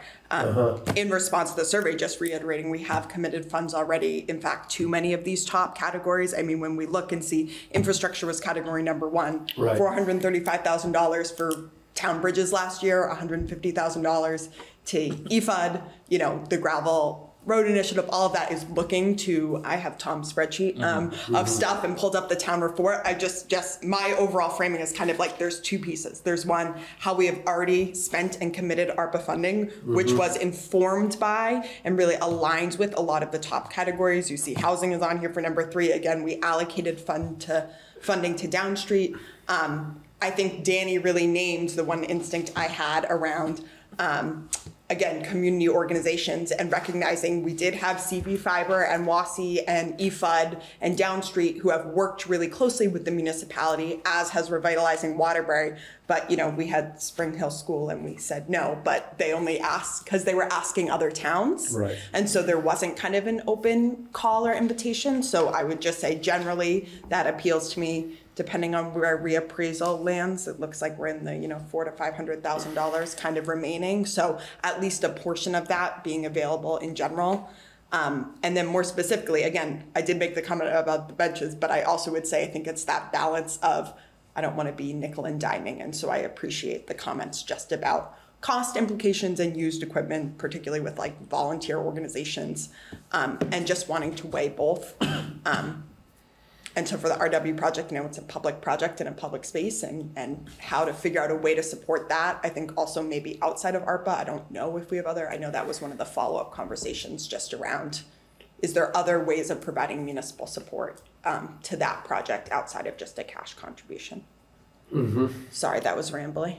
Yeah, no, that's fine. And uh, the, that, you- particularly your last comment uh, did uh, remind me of a question I had for Tom, which was a substantial portion of their budget was the uh, preparation of the, of the site. I think it was like fifty thousand dollars. And I'm wondering if it's conceivable that the town highway department would be able to contribute any in-kind services uh, to uh, knock down that cost. Yeah, yeah, I need to go over that with them in some detail, but it's possible. Because, I mean, that would be, uh, according to, to the budget, and again, the budget may not be exact, uh, that would be a contribution of, of well over, uh, depending on how much the town could do, be uh, well over the value that she applied for. Yeah, I love that idea. That's a great, like, that seems, that seems like a better contribution from us than just handing them cash. It's just doing part of the work. We certainly could. Uh, we've also, um, it's essentially a public walkway when it's done, so we'll pay the bill for the streetlights, uh, we'll deal with the trash, uh, we'll help where we can with snow clearing. So, uh, could you, Tom, sort of itemize uh, what the town would be able to contribute towards the, those uh, site costs? Sure. And, uh, and also, of course, discuss it with Karen, because she may have already lined up providers of, of some of those. uh, But um, that, I think, uh, would, would, as Kane says, uh, make us feel as though we're contributing without necessarily cutting into uh, what could be scarce uh, financial resources uh, going forward. Sure. I don't know if Mike raised his hand again. Uh, yeah, Mike? I don't know if this makes a difference. I know I've been, you know, pretty involved with the uh, alley project, but please realize that alley is, I guess, private property. It's not town property. I know we would look at it as kind of a walkway, but I don't know how that would affect our contribution in terms of doing things with, you know, public, you know, public, you know, the public works, you know, resources. I, you know, I'm all for doing that, but I just, you know, because it is private property, I don't know how, how that, maybe if Tom could comment on that. Yeah, it's private property, um, but Karen, uh, Karen's organization has an MOU, uh, with them. Uh, we've, al- I've also already agreed to add it to our insurance, and there's a way for us to assign the liability to us. So it's, it's private, but it's really quasi-public. Mm-hmm. Um, and that's what Totally attorneys, agree. and that's what attorneys are for. Mm-hmm. And, and the MOU uh, provides for public access, right? Yeah, yeah, so I'm, I'm pretty comfortable with it. Alyssa? Um, Roger, I'd say one of the things I most appreciate you as chair is being really good about timelines. And I guess one of the thing that has come up, no, both and asking about next steps candidly, um, that has come up on this alley project candidly as a concern was the perspective timeline. But in this spirit of, again, Danny and I, I'm not speaking for the board, but talked about this idea of community organizations. Again, we have the senior center in the wings, hoping to kind of address the more imminent needs, but thinking to the future, I guess I have a question around, does the board in general have interest in some sort of community application process? Does staff have concerns and what that timing might be? Again, looking to kind of, we're Right. mid-year 2023, ARPA into next year, um, and wondering if we, you know, do some preliminary, preliminary discussing now or add it to our next agenda in terms of defining a process, thinking that for RW or others, saying, you know, we're gonna have an additional round. And again, I'm not saying, we might have other ARPA uses. I mean, I'm noting that recreation is here and that, you know, we have recreation studies and different things that have happened and, and didn't maybe dig into those ideas as a board, but, um, So, I can comment on that. So a couple meetings back, Kane had actually asked about ARPA funds, about the debt ceiling, because that had come Mm. up. Um, and as it turned out, um, from that perspective, the funds were considered allocated once they made it to us. Um, so we have until, uh, next summer to allocate the funds and a couple years to spend them. But what we can do, and I could prepare this for your next meeting, is I could prepare you a resolution that, from the federal government's perspective, allocates and spend the funds. We allocate and spend them into our back pocket. Into a, they're really in our left pocket now, we'd move them to the right. Mhm. So you could still go forward with a community process over time, but you could take your time. Uh, and in theory, that could take five years if you wanted to. So that's something that you could do. We could still call it ARPA to keep the num, you know, keep the, the verbiage we've been using. Mm-hmm. Um, but that would take some, some time pressure off if you were feeling that. Yep. May as well. I like that idea. Yeah. Um, At the same time, uh, I, I do think, uh, you know, just in immediate term, uh, we've uh, budgeted uh, till 9:45 uh, tonight to uh, discuss this, which means that we've got approximately 55 minutes left. uh, So uh, we do have time to discuss this further. And um, I like the idea of uh, developing a process for community organizations. Uh, In all likelihood, we'll continue to get requests from the likes of RW and uh, the uh, senior center uh, for, for these funds. Uh, And so I think clarifying the process by which uh, they would apply for them uh, makes a lot of sense to me. And can I throw a couple other things out there? Please do. Um, so as part of the Hope Davey study, Monica Callan and a few others have talked about public art. Um, Uh-huh. I had a meeting a little while back with Waterbury Arts, um, and they talked about similar concepts. No project yet per se, uh, but just talked about the idea of expanding public art throughout town. Mm-hmm. Um, the the park study um, calls for some town investments for sure. Now that'll be likely on your July seventeenth agenda. Um, and the short-term investments that come to mind uh, are some of the ADA improvements that were discussed in the study. Mhm. And I think were, were noted by the study group as a higher priority. Um, and then finally, soon enough, I'll have some results uh, from Alec Tuscany and his analysis of the pool. Mm-hmm. So just a couple themes to think about. And there's The always pool. roads and bridges.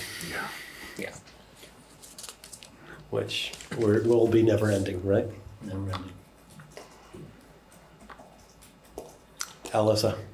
Well, just to throw something out there, I mean, I will say one thing that we had in the report last year was this reappraisal funding. I know we keep revisiting it and I don't mean to beat a dead horse, but I would say it's two hundred thousand dollars. So to me, that might be like an interesting bucket of money to think about more creatively recognizing that there might be other apt uses, but in thinking about, you know, community projects and again, not designing tonight, but thinking about, you know, to me, the exciting opportunity of a community application form is just like you don't know what's out there until you put something out like that. And I think there could be some potential small projects that a small investment could really make a difference.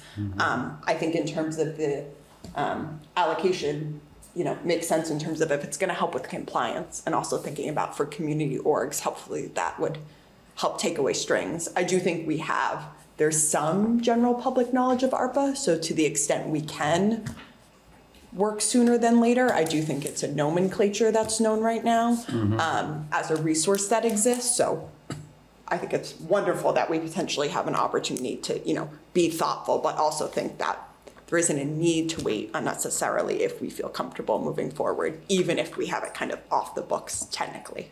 Mm-hmm.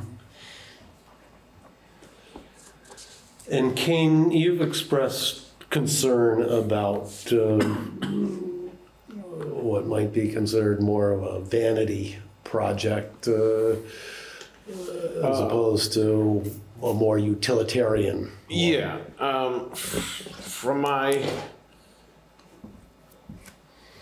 I guess, perspective, from my reading about ARPA funding and the way other towns and cities have been spending theirs, everyone does it different, so there's not really a whole lot to go off of. No one does it the same way.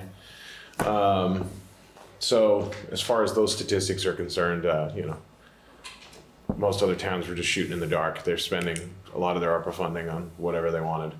Um, some of it was, so, you know, some towns and cities were, you know, they would do things like the senior center. They'd uh, benefit homeless shelters. In some cities, we're spending them on giant paintings on the sides of buildings. Uh, so, uh,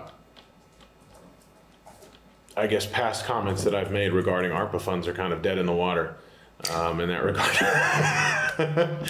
um, but I, I still do believe that um, it need, you know, that money should be spent on um, making sure that Waterbury is a, a, a place to live for all people.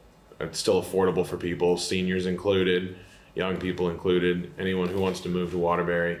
Um, and I do think that a project like the alleyway project would be beneficial in reaching this goal. Um, I just think if we can benefit them in another way other than just handing them cash, if we could help them some other way, I think that would be a better start for us. All right. Jane Brown has raised Um, Jane? Yeah, hi. Um, a few years ago when I was on the select board, uh, we did a, I participated in a scoping study for a sidewalk that was, uh, so a scoping study was like a feasibility study with the Agency of Transportation uh, that's required before you actually apply for funding for a project. You have to do a conceptual plan and a feasibility study and hire designers. So at that time, it must be at least five or six years ago now, uh, the so- select board, okay, the sidewalk was from the corner of Stowe Street up to um, up to uh, Colbyville.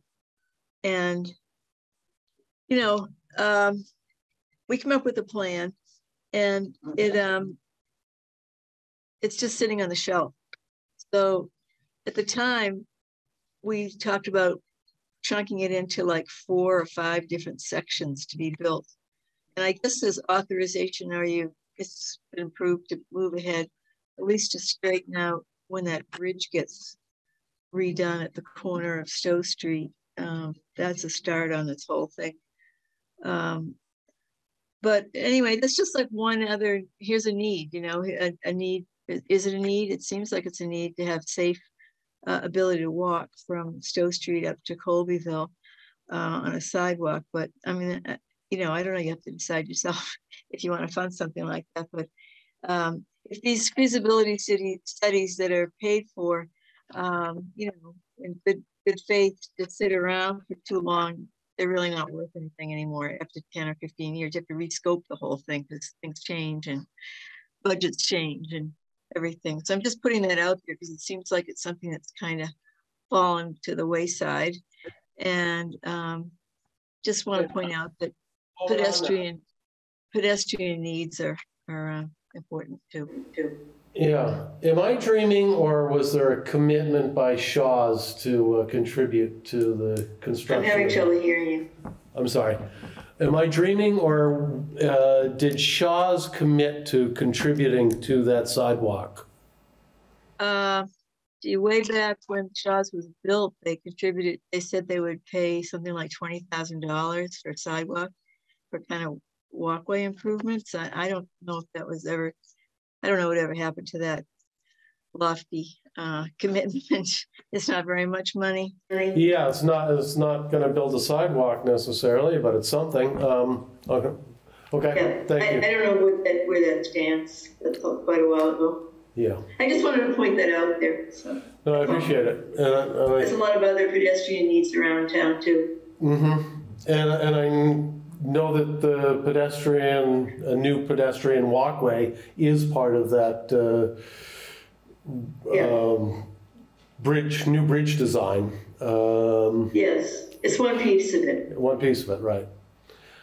Alyssa? My follow-up was actually for Jane. Do you remember the other barrier? It didn't have to do with the timing of V-Trans redoing the 100 and Stowe Street intersection. I just remember the whole thing was scoped and then there was some challenge where either the lights need to be upgraded or am I am I misremembering? but I thought there was some other barrier and then there was a concern with the grade of the proposed sidewalk going up to the Best Western that they thought the town wouldn't be able to maintain with current equipment. I'll just say, like anecdotally, yes, the intersection of Stowe Street and Route 100, I see people running across, and it's terrifying. And I remember, I think at the time, a four hundred and thirty-five thousand dollar price tag, which is not insignificant. Um, so I appreciate you raising Um, it. And again, we don't need to get into tonight, but just to say, I think there was I think the whole thing should be dusted off and looked at and, and, you know, does it, does it suit needs or not, you know? It's just, it is an important area. It included a, a way to cross Route one hundred, which was tricky because of, uh, traffic and sight distance and the, the crossing, potential crossing was, um, at the other hotel there, um, across from the bank. A little, yeah, so anyway. Thank you. Yeah. Thank you. Thanks, Jane.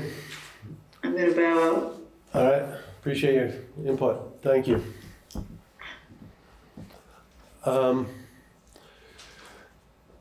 I guess, you know, certainly, uh, one of the things that, uh, Alyssa brought up was, uh, the fact that we have this two hundred thousand dollar question mark, which is significant amount of money. Um, and I'm just wondering, uh, if we might revisit now how much money we've got and then what we might potentially have if uh, the state decides to take over the uh, reassessment of uh, town properties. And then, uh, you know, Tom, you brought up a bunch of potential projects that would be amenable to to ARPA funding. Uh, If that could perhaps serve as a guide over the next month for us to sort of identify where, potentially where, where this ARPA money would go, and then how much we might have for community projects, because I don't think we want to overstate our capacity to fund something and invite hundred people to, hundred organizations to come forward if we only have twenty-five thousand dollars left to spend.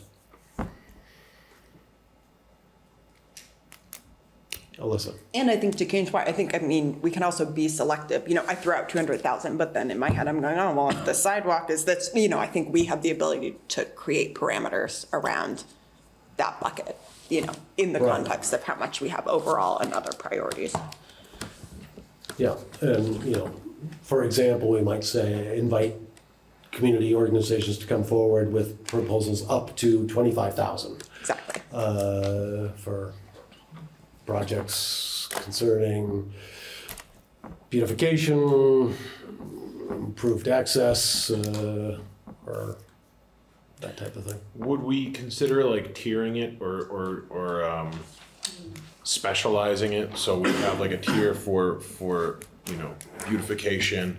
We'd have a tier for, um, like, I guess I, I'm just throwing it out there. It's not, you know, relevant, but like a community garden and, and things like that, like things that, um, not, it was just an example. Um, Well, just. and then like. Sort of the same, um, same category from my mind. and then I'm gonna throw this one out there, maybe, you know, something for if we eventually need like a houselessness project of some kind, um, would we have like these different tiers for different projects? Um, instead of just throwing them all in the same bucket and having them vie for this cash? That, you know, that was my idea. Uh-huh.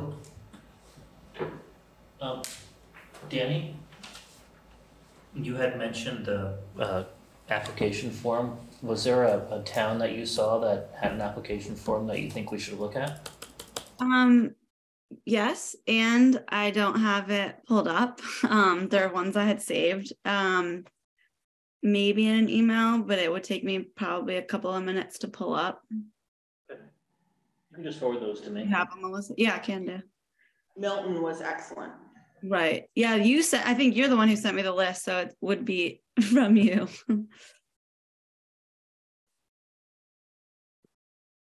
uh, they had one. Yeah. I also am noting, I'm on their page right now, um, that they passed a resolution outlining how the ARPA funds are allocated. And we had that content. Tom provided it in the town report, but I'm just saying out loud, I thought it was an interesting mechanism to really like articulate the rationale between, behind the spending, so Mhm. it's not something we've typically done, but I thought it was interesting.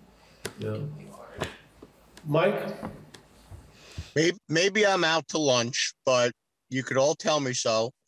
But didn't we do our survey that uh, gave us an outline of what people want in this town? And I think we should, you know, you know, that was a pretty extensive survey, and I think we should, you know, honor that's that survey as to what the folks in the town want to do. You know, we can't be everything to everyone.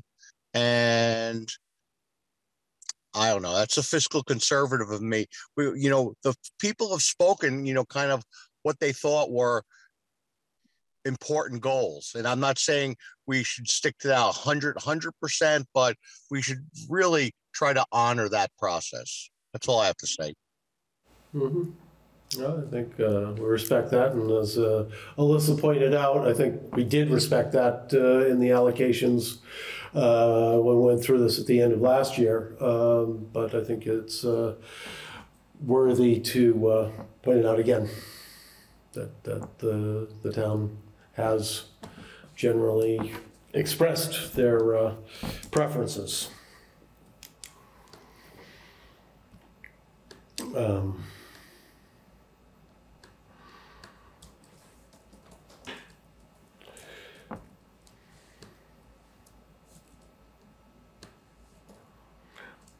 I'll just uh, add one other thing that uh, the um, rec committee has also developed a uh, rubric for prioritizing uh, rec projects. And this is relevant in part because uh, they're going to be using those to prioritize what they bring to us for funding. Um, and uh, so that's yet another sort of screen with which we're using to, to prioritize. And part of that is the, the degree to which it, it benefits uh, a large number of people, um, which I think is, is worthy of consideration. Um, and uh, so, you know, while the town has said uh, they, they want to prioritize number one, infrastructure. Uh, it might help us to identify types of infrastructure, infrastructure that are going to benefit a larger percentage of the town. And other ones, yeah, Kane.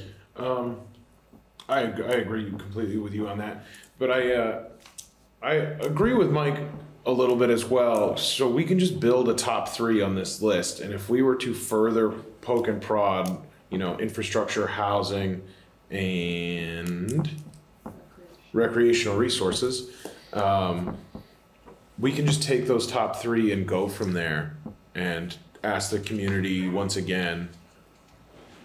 Um, in, in those three categories, what is most important? Obviously, housing is its own, like, you can't, you can uncategorize it, but like, what kind of housing are they speaking about? When it's infrastructure, what bridges are you talking about? When it's recreational resources, what, what fields, what trails are they talking about? Um, and then we can definitely have a perfect understanding of what the community wants if we do it that way. Uh, Danny, and then Alyssa. Um, yeah, I think uh, kind of kind of evolving that idea a little bit. We had a, some feedback uh, in this regard as well. Is is rather than that open ended question of like give some examples, give some possibilities. If we, uh, you know, this is our work along with the staff's work. Is you know what have we identified and can we give them you know three options in the sidewalk category in the road category you know i think there you know we can always leave that open ended other and and open to suggestions but if I was just, you know, myself and was not super involved and know what was going on, I wouldn't know where to start, but I would still want to offer my voice. So if we could propose, you know, some of the priorities that we might have in mind, um, and just make it a little bit easier for folks to feel like they have enough information to weigh in, I think would be more beneficial. Um, and then I forgot my second thing, so carry on. Alyssa?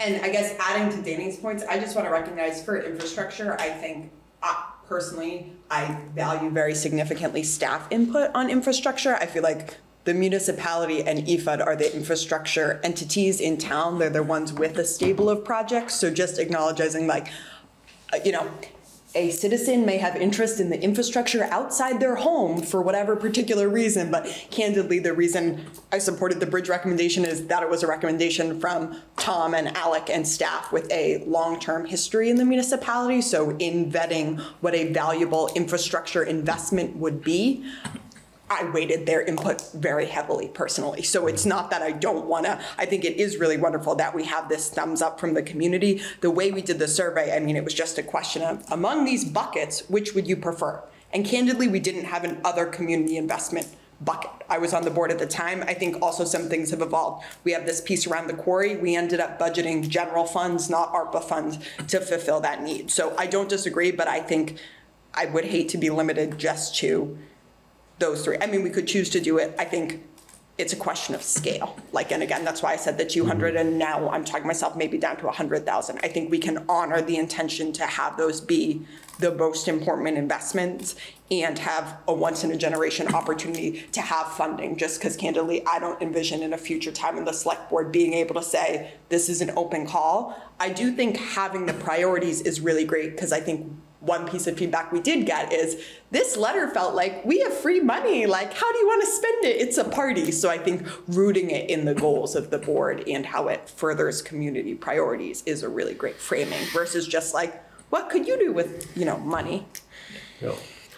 And I'll just add to that that uh, I think it is a good opportunity to uh, take advantage of the fact that we do have uh, a number of different uh, committees serving the town uh, that have deliberated over these issues uh, so that the rec committee has been looking at a prioritization list for, for years now uh, and has had several discussions and has a lot more involvement, understanding of these issues than, than certainly I do. Uh, so getting that recommendation from them uh, and uh, uh, uh, you know that we have now have a housing task force uh, that's looking at prioritization of different issues and I would respect you know their due diligence uh, on something like this as well.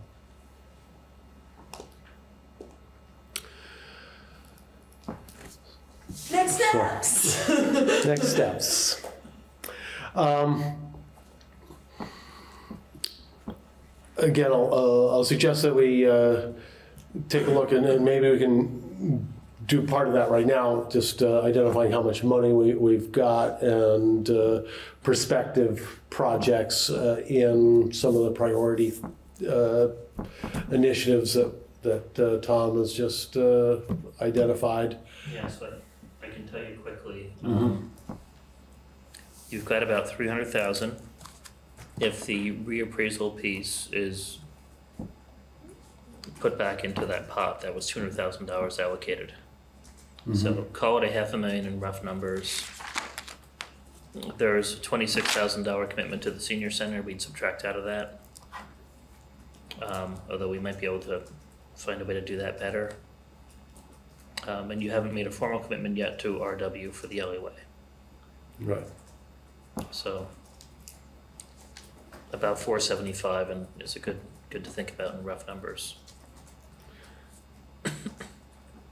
And um, your understanding of the uh, reappraisal situation is that the town, uh, that the state is uh, doing a study on this, uh, and uh, any idea which which way this study uh, is likely to go? Um, I think it makes fundamental sense for the state to take this over. Mhm. um, and to do it on a regional basis. Um, I think the study will say that. I'm hoping that um, by this time next year, the process is done and there's a bill that's passed. Okay. Um, and we're going to uh, ideally get uh, a uh, presentation by the SE committee on the 17th of July on their recommendations. Um, and uh, I think part of that will also uh, um, include some indication of prioritization from the, uh, from the rec committee.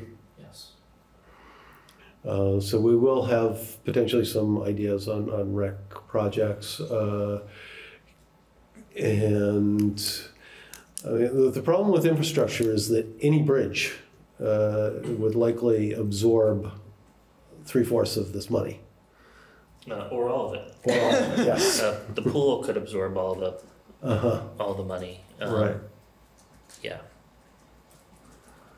So, which, which would make an easy decision. We just wipe, wipe this balance right off the, the sheet. Uh, but uh, maybe we should just, uh, if we could ask you to bring forward a couple of those. I don't know if the pool will be, uh, have a price tag set to It'll it. be, it'll be quite ready by then at that level, but hopefully Mhm. we'll have something. Um, yeah, I can bring forward plenty of those ideas. That won't be a problem. Hmm All right. And I think maybe uh, we can put it on the agenda, uh, maybe towards the end of that evening. And that might help us decide whether we even are going to be in a position to open up uh, a community fund or whether, whether that makes any sense whatsoever. Well, something I'm beginning to think of during the course of this meeting, um, it would be, the town doesn't have, um, hasn't had for a while any sort of formal capital improvement plan adopted by the select board. Mm-hmm. Um, That's essentially what we're starting to talk about here. Right. Um, So I can sort of start that for recreation and some other projects for next month. Um, But we should think of it um, also as potentially a, a bridge to a local option tax. That we can pretty quickly, I can pretty quickly come up with a plan that um, looks out three, four, five years, depending on the category, um, and requires many millions beyond what we have. Um, Mhm. But if a local option tax is a possibility, that's, it's a little less aspirational, a little more realistic to do some of those things. So in a way, this process could be the process that happens all the time. Mhm. And we are anticipating that the local option tax will be on the proposed charter and that you're uh, getting a legal uh, opinion of the language on that. Okay. Uh, Any further discussion on tonight? Does anyone feel like we need further um, clarification as to next steps? Hearing none.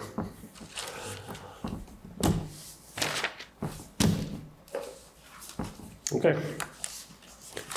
Um, Then I guess we're ready to discuss the agenda for uh, the next, well, the next meeting, which has already been warned, is going to be at 5:30 on Wednesday, the 28th, which is a week from next, uh, day after tomorrow.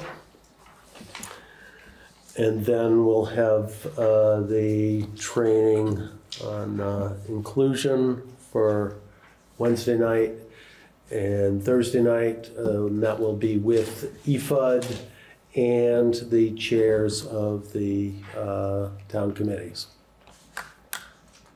Correct? And, uh, Two hours each? Yes. Okay. And to quickly preview the next meeting, which is just the meeting to adopt the tax rate. Mhm. Uh, Dan Sweet, our lister, sent me today the, the four eleven, which is the form that uh, essentially is the current grand list. Mhm.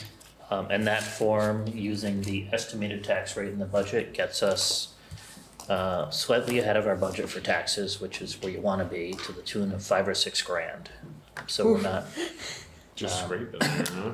We're just scraping it, but last year we were, I believe, about thirty-five thousand dollars behind. Oh. So just scraping it, I think, is pretty fair. Um, If you Mhm. scrape too much and at some point, you know, you, you went too high in your rate. um, It's good to be in the good side of things, even if we're scraping it. Yeah, unfortunately, um, if I can just piggyback that, your grievance hearings aren't until the thirtieth. So you're gonna be looking at an abstract grand list that doesn't take into account the grievance hearings. Yeah. Which will change, ultimately Okay. change. And, and Dan has the legal authority to make some adjustments during those hearings. Um, I was talking to Dan this morning, and the, the trend that you see in the, in the grievance world is, um, you know, we're, we're below that eighty percent threshold of, in essence, our values compared to the market. So if you, if you built a house in Waterbury in the past year, you're gonna get a number from our lister that looks low to you. So you're probably not gonna grieve the fact that our number is lower than what you paid to build your house or buy your house. Right. Um, After you reappraise, that you're on the other side of that coin, you get a lot of grievances. Yeah. Um, but I think right now we'll be, we'll generally be okay. Um, Yeah. and, and a lot of grievances in my experience, um, someone comes in and, you know, they say my, you know, you've got my house worth three fifty, I think it should be three forty-five. So even if there's an adjustment made, it's, it's not gonna have a It's huge not impact gonna on cut bottom line. deeply into our pocket. That's nice. Good.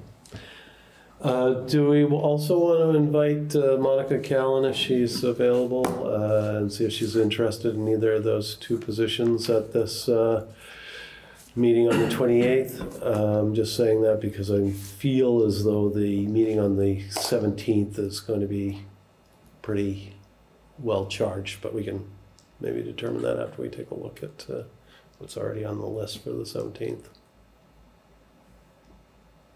I think that's a good idea. All right. Could we ask Mona if she's interested in either of the two remaining positions uh, with Central Vermont uh, Regional Planning? And if so, uh, if she would care to uh, present, and we'll put her at the top of the uh, agenda. Oh, thank you, Jennifer. Thank you. All right, and then on the seventeenth. What is, what have we got so far? We passed 54 and a half, and that's at cents tax rate. That's what it's based on. Thank you. There we go. Got uh, MOU with the Rotary Club. Um, However, they said they don't want an MOU. Is that the Uh, same MOU or a different one? A different one, the, the Rotary Club at their last meeting, and I believe Mike knows about it, was there, um, adopted an MOU about Rusty Parker. Oh, okay. Uh, My understanding is. care uh, and feeding of Ru- Rusty Parker Park? Yeah, their, their board chair came by, it took him a while to adopt that MOU, they were a little concerned about uh, committing to things that they can't live up to in the future, given there's, you know, a small cadre that does a lot of work. Yeah, like Al Lewis. Yeah. So I told them tentatively, let's, let's try to see if we can uh, get that on the agenda for the seventeenth, but I will fully admit I have yet to read the MOU. Okay. All right. Just a little addendum to, to that. Um, yes, there was a little consternation by the Rotary about the MOU, more that they're concerned because you don't create people like Al Lewis every day, and Al's been for like 40 years caretaking that park. And I think the Rotary was more concerned about, you know, you know, what they might eventually have long term if they can fulfill some things. And, you know, I explained this is just kind of a framework and they're going to do what they can do. The problem is they realize that there are some things at the town that are not directly re- related to Rotary. You know, they're good for, you know, startup and tear down of the gazebo, the concerts in the park and stuff, but they can't, you know, they can't maintain every event that happens at at, Rusty Parker Park or Park, and that's going to be that that was a real concerning point, and I had to do a little bit of a sales job because I I think it's really important that the town has a MOU with Rotary that kind of you know spells out what each party is going to do, and we made it to be you know a 60 a 60 day you know, exit contract, say they can't do that, that it doesn't bind Rotary into kind of perpetually, you know, taking care of the park stuff that they can't manage. That's all. Yeah. Probably a good time to, to take a look at it, uh, given the transfer of uh, ownership and, you know, I guess I, I did question even last year why Al Lewis was holding the keys to uh, the pavilion, but uh, you know, again, if, if Rotary wants to do this, that's great. But uh, it's probably getting to the point where they're no longer able to do as much as they have in the past. Hundred percent right, Roger.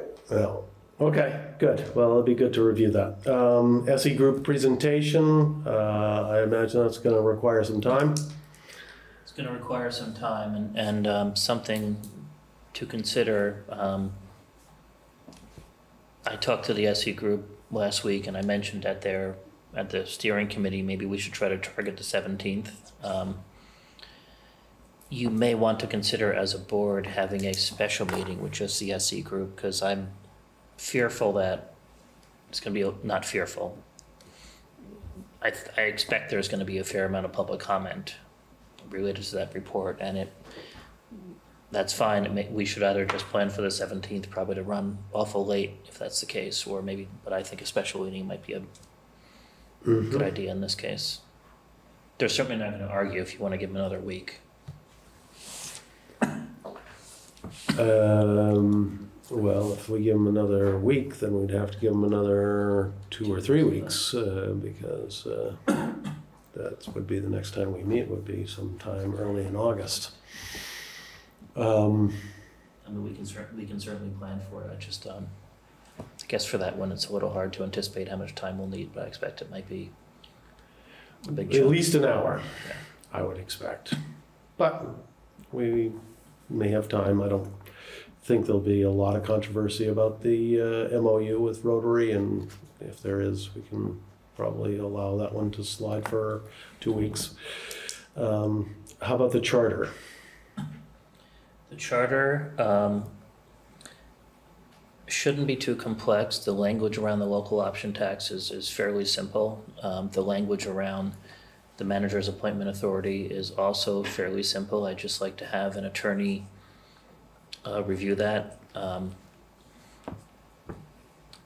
I sent it to the uh, League of Cities and Towns where there's a free legal review. Um, and in essence, he he blessed the language, but he, he raised some questions based on some experiences in other towns. I wanted to kick that up and spend a little bit of money, and I'm gonna um, playing phone tag with a guy named Jim Barlow, who's uh, who's an attorney who really specializes in this sort of work. Um, not general counsel; he's more really a specialty in, in laws, charter language, things like that. Um, it's not going to take hours and hours of Jim's time, but it'd be nice to have a memo to him Mhm. outlining, telling us we're on, we're on the appropriate ground. Great. How long do you think?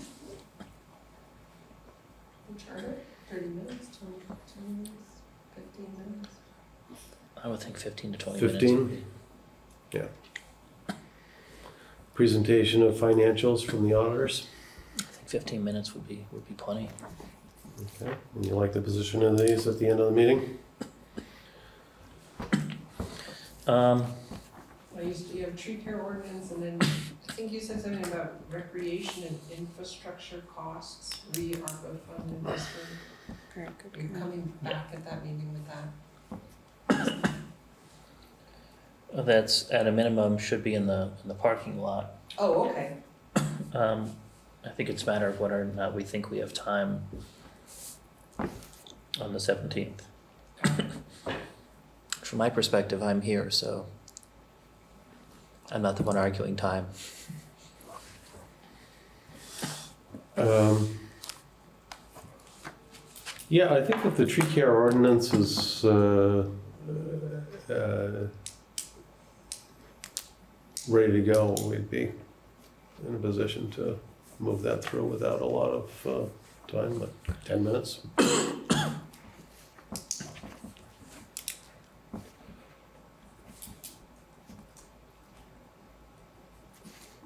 And maybe that should go above, uh, charter.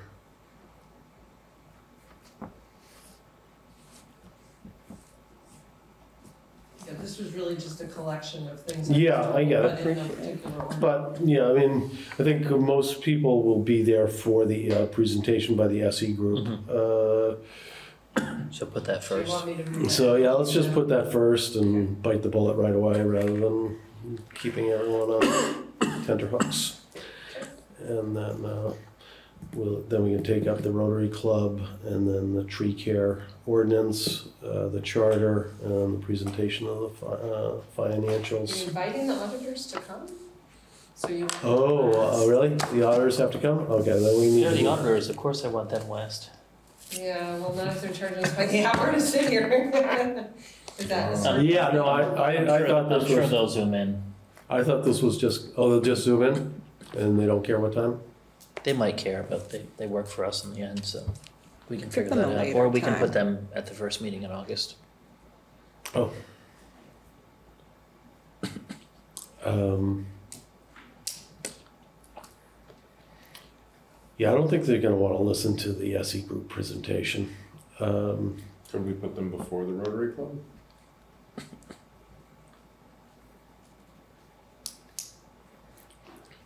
um, Or you, like Roger, said- or you just said move them to August and then just give yourself more time for SE group. yeah, I'd say We can do let's, that. let's move them to August. And this is, this is nothing that's gonna change, uh, between, uh, mid-July and, uh, beginning of August. We have parking lotted unhoused people. Do we have updates on that? Uh, yeah, the big update is the, um, so the state, I believe today was the first day of their veto session and that's, that's the open-ended issue in the state budget. And so the, uh, the pretty substantial number of people that will run out of housing as of June thirtieth, I think are still in some limbo and it sounds like the state is working to, legislature's working to continue the program. Mm-hmm. Um, I'm not sure at what level, for how long, um, but that's the major topic.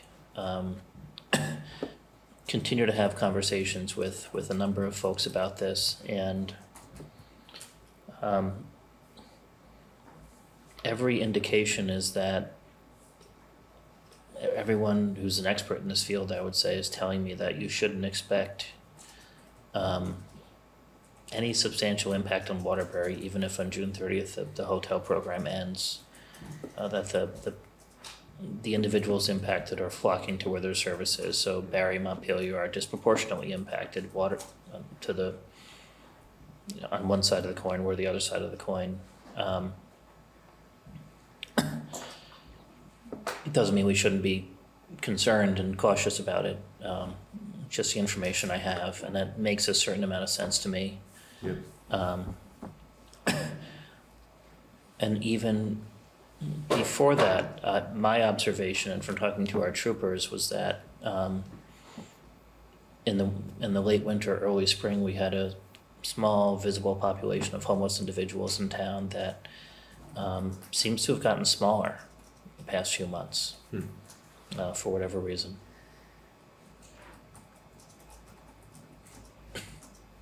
Okay.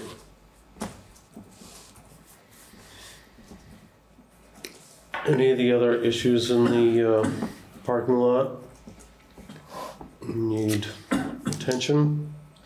Maybe we should address uh, road salt use uh, sometime this fall. sometime this fall. Um, I am giving a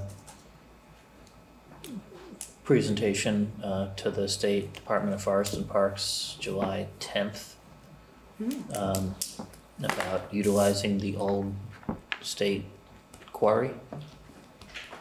Um, That'll be a public meeting. If anyone wanted to join in, I can get the Zoom link at some point. When did you say, July tenth? July tenth, I don't have a time yet, but it's just gonna be a presentation via Zoom, so I'll have a PowerPoint. I'm definitely gonna participate in that. It's gonna be exciting. Yeah, I, I completely wanna watch this. Yeah. Do we want to add um, what Tom mentioned about capital um, improvement planning as a parking lot, or do we feel like that will come up via charter or other items? Um, we can put that in the parking lot, and it sounds like the, the first, from my notes, the first area is rec, where we wanted to. Uh-huh. get Can some we address that maybe in August, on that uh, first uh, meeting in August?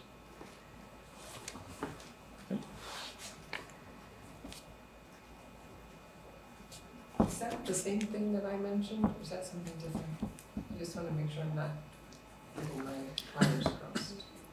You had mentioned the Uh, ARPA had updates, the- Karen? The financials from the auditors. Oh, no, that one I know is moving to August, but something in the lines of recreation and infrastructure costs re-ARPA fund investment. Is that I think it's kind of a combo of the two. Okay. So some Yeah. of that was specifically potential projects that we could spend ARPA on in those categories. But then the piece I feel like it's, would be nice to capture moving forward is, Tom was saying, in doing that, that might form the basis of a broader capital improvement Right, okay. plan. I just And I wanna just make think sure that's a great idea to look at Mhm. generally, Yeah. um, to inform ARPA and other things. Oh, Mike Barnes got his hand raised. Uh, Mike? Yep.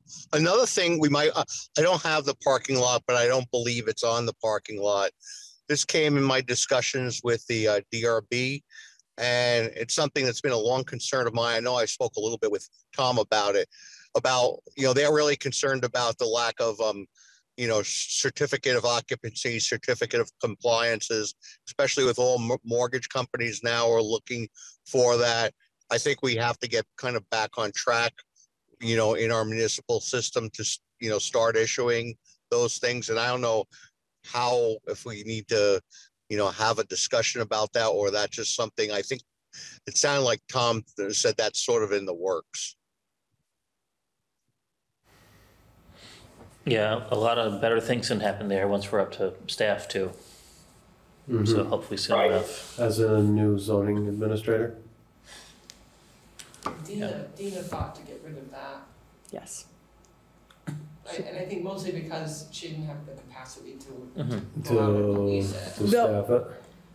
As I recall, Dina fought to get rid of zoning compliance letters, which is saying this is definitely a thing. That and the idea of an inspection or occupation, if you build something according to plans, are different.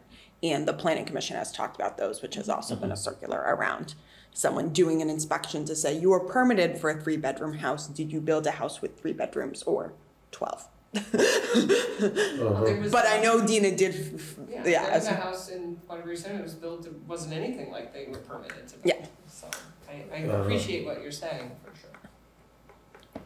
But I know she said, and she's like, it's not even binding, right? Because it wasn't it she would pull all this data and still something could have been No, there? she Like it didn't really, inspection. they had a lot of, yeah. and look, so yeah, I think for her, it just seemed, why am I writing this letter? Uh-huh. Right. Um, so we parked that someplace or, uh, I guess we'll, Some permitting reform, anyway. maybe we back to all the permitting. Well, how about, uh, I, I, all this stuff has been in the parking lot since my first meeting at the select board. Oh, we, we moved a few things out. Well, it's Uh, gotten smaller, but some of the things remain, schedules of fees. Yeah. uh, We adjusted Noise for this ordinance. room, so not everything. We can probably I'm remove just saying. schedule fees Well, and, that was for rec fees, which okay, we haven't looked at, so that, We did adjust the fee for this room, but that parking lot item was specific to recreation. And it was rec field fees, I believe. Oh, yeah. Yeah. We could look at that in August. Why not? And uh, when do we need to do emergency management training? That was uh, Mr. Bard's Right. It was. item. Ah, Mr. Bard. He had sent a message, he was, One second, okay, I'm unmuted. I think it's, it's really important we could get the folks from the state emergency management to give us some sort of, you know, you know, training, you know, and they'll s- schedule it as to what we need, you know, and it doesn't have to be like, you know, they give a class, an eight-hour class, and I don't think that's something that the select board needs, but the basics of emergency management, I think are something important that all select board people should be aware of. And, you know, it's something we could just, you know, work with Gary Dillon on working with uh, the state emergency management, you know, folks and scheduling some sort of training for them to do for us. All right. Would that be something that we could do in a public meeting in about an hour? Don't know offhand, I'm gonna have to reach out to the state and find that out. And it, I expect it's not something they're gonna be able to do in August. I think it's gonna be a little longer than that. Okay. All right. Well, Tom Yeah, was I'd like- probably, I'd probably, Tom, reach out to Keith Cubbin. You know, he's really good about, you know, he's very, you know, believes in training select boards and stuff like that. And he would be a good resource. Okay, I can do that. Mhm. And this isn't something that uh, VLCT would normally do? It's, it's, it's more of a state thing. Okay. Anyone else want to grab something out of the uh, parking lot? I just want to note for road salt use, the Conservation Commission has some, some good data there. Okay. I haven't had a chance to, to go through it yet, but um, Kane, the conversation, I believe originated during budget discussions, December, January.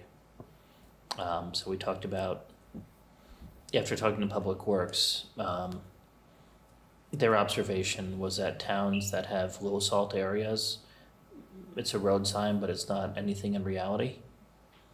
So they said if there's gonna be a, uh, a policy to reduce salt, whether that's for cost savings or environmental reasons, to, um, pick some roads. Um, and would just say, aside from maybe bridges or intersections, we're just gonna, at some point in the winter, just pull the switch and not salt those roads at all. Would they be, uh, dirt, dirted? Yes. Yeah, they would. Well, so- we don't salt them anyway. We, we, we dirt. No, no, he's talking about the spreading dirt Oh, just for sorry, public sorry, safety yeah, yeah. as opposed to salt. Yeah, that was, thank you, Roger. Yeah, sand, dirt, whatever Yeah. concoction we come up with. Mm-hmm. Well, it's also coming up. I know I was at the last Conservation Commission uh, meeting, and they're gonna uh, shortly. They're gonna be having the results of their community mapping. You know, the exercise that they went through in a public meeting, and the results of that will be forthcoming. So that you know, probably what came out of the original community mapping and the results are probably going to be something that we should look forward forward to and gear to whatever projects you know we want to move forward with. Okay, um, so then maybe we would invite, uh, Billy Vigdor to make a short presentation to us at the beginning of August. I think that would be good. You know, again, in in uh, I think July, they're going to have I I think it's I forget if it's June or July is when they're going to have their community. Uh, you know, have the folks from Vermont Fish and Wildlife present in a public meeting the res- results of the our the community mapping session. So, as they say, more news at eleven. You know, eleven is the number of days left in June, so FYI. Um, okay, I'll tentatively put Billy uh, and the uh, Conservation Commission uh, uh, on, in August. And uh, as to road salt use, uh, that could either happen in August or, or I think into uh, September. Yeah. I think I'm just gonna put those items, like, right, I'm not, if I can speak for a minute, so as you see on here, I'm gone in August, I'm not here for either meeting. Um, so I, I'm happy to warn and create the agenda for the first August meeting, on the seventh, I won't be here that Friday. Mhm. But the next meeting, Beth will help, um, as best as she can. I noticed today when I was building some templates for her that in September, your first meeting is scheduled on Labor Day, we're closed that day. And imagine you wanna meet that day. I don't need an answer tonight, but just an awareness, I put a placeholder on the calendar for the Tuesday the fifth. Because if you do it the following week, then you start getting into the weeds with the planning commission and other, other Mhm. things. So just an awareness about that, because you'll be making that decision when I'm gone as to what day you're gonna have. We can make that decision right now. Uh, Anyone having a problem meeting on uh, Tuesday the 5th as opposed to Labor Day? Uh, All right. Mike, are you good? And Danny? Still opening my calendar. I think it should be fine, but I don't know unless I look at my calendar. Yeah, I don't need, I, I'm, I'm on my wife's cell phone, so I don't have access, but I think that's, that's fine. I think we should, maybe should have kind of like, almost like a standardized policy when our select board meetings fall on a federal holiday that falls on one of those Mondays, our select board meetings automatically revert to the next, the following Tuesday. But be a nice, easy thing to do. Yeah, I agree. I think that makes sense, uh, unless otherwise noted. Go ahead. Personally, have some struggles. My uh, I work for a nonprofit. Our board meets quarterly on Tuesdays, so it's not every month, but it does happen to be that that Tuesday. So I can't attend um, the, that September. We can find another, or it's a you know it's okay. Um, but that's the Tuesday schedule for me. Like I said, you don't need to make a decision tonight, I just wanted to put it out to you. Just want to throw a wrench in it for you. Um, Any other, anyone want to make another suggestion, like Wednesday? Yeah, I was thinking anytime in the same week. should be fine. Does Wed- Does Wednesday bump us up against any? uh, DRB meeting? is potentially meeting in this room. Maybe you just put a survey monkey or something out to see if we could all do that. Yeah, I, I don't wanna build a survey monkey. Um, I don't even know how to build a Or have survey some. Uh, okay, um.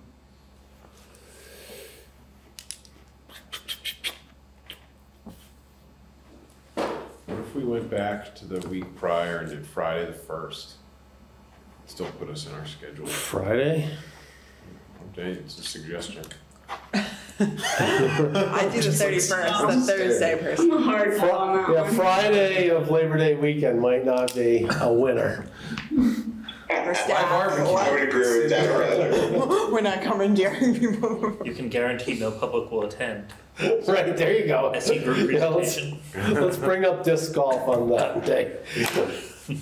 Um, Okay, let's see. Um, Alyssa, you got a plan, uh, suggestion? I was gonna move to adjourn, but. Oh, before resolving this issue, the can will be. I said I would do warrants and I'd like to be home by a reasonable hour. Um, Yeah, that's true. We are, we are at the. It moment of feels adjournment. unresolved as uh, acting secretary Okay, in no, August. I'll make we'll, sure. we'll work on uh, this uh, first meeting on uh, September issue and try to get that resolved uh, in July. How's that, before you go? I, that's fine, if you Okay. resolve it in July before I go. Yeah. I'm Uh, gonna leave the placeholder on the calendar just in case. Good You're not point. gonna zoom in from Europe? Nope. It'd be fun. And we applaud that. Um, I will entertain a motion to adjourn. So moved. Second. All in favor, say aye. Aye. Aye. Any opposed? Hearing none, we are adjourned.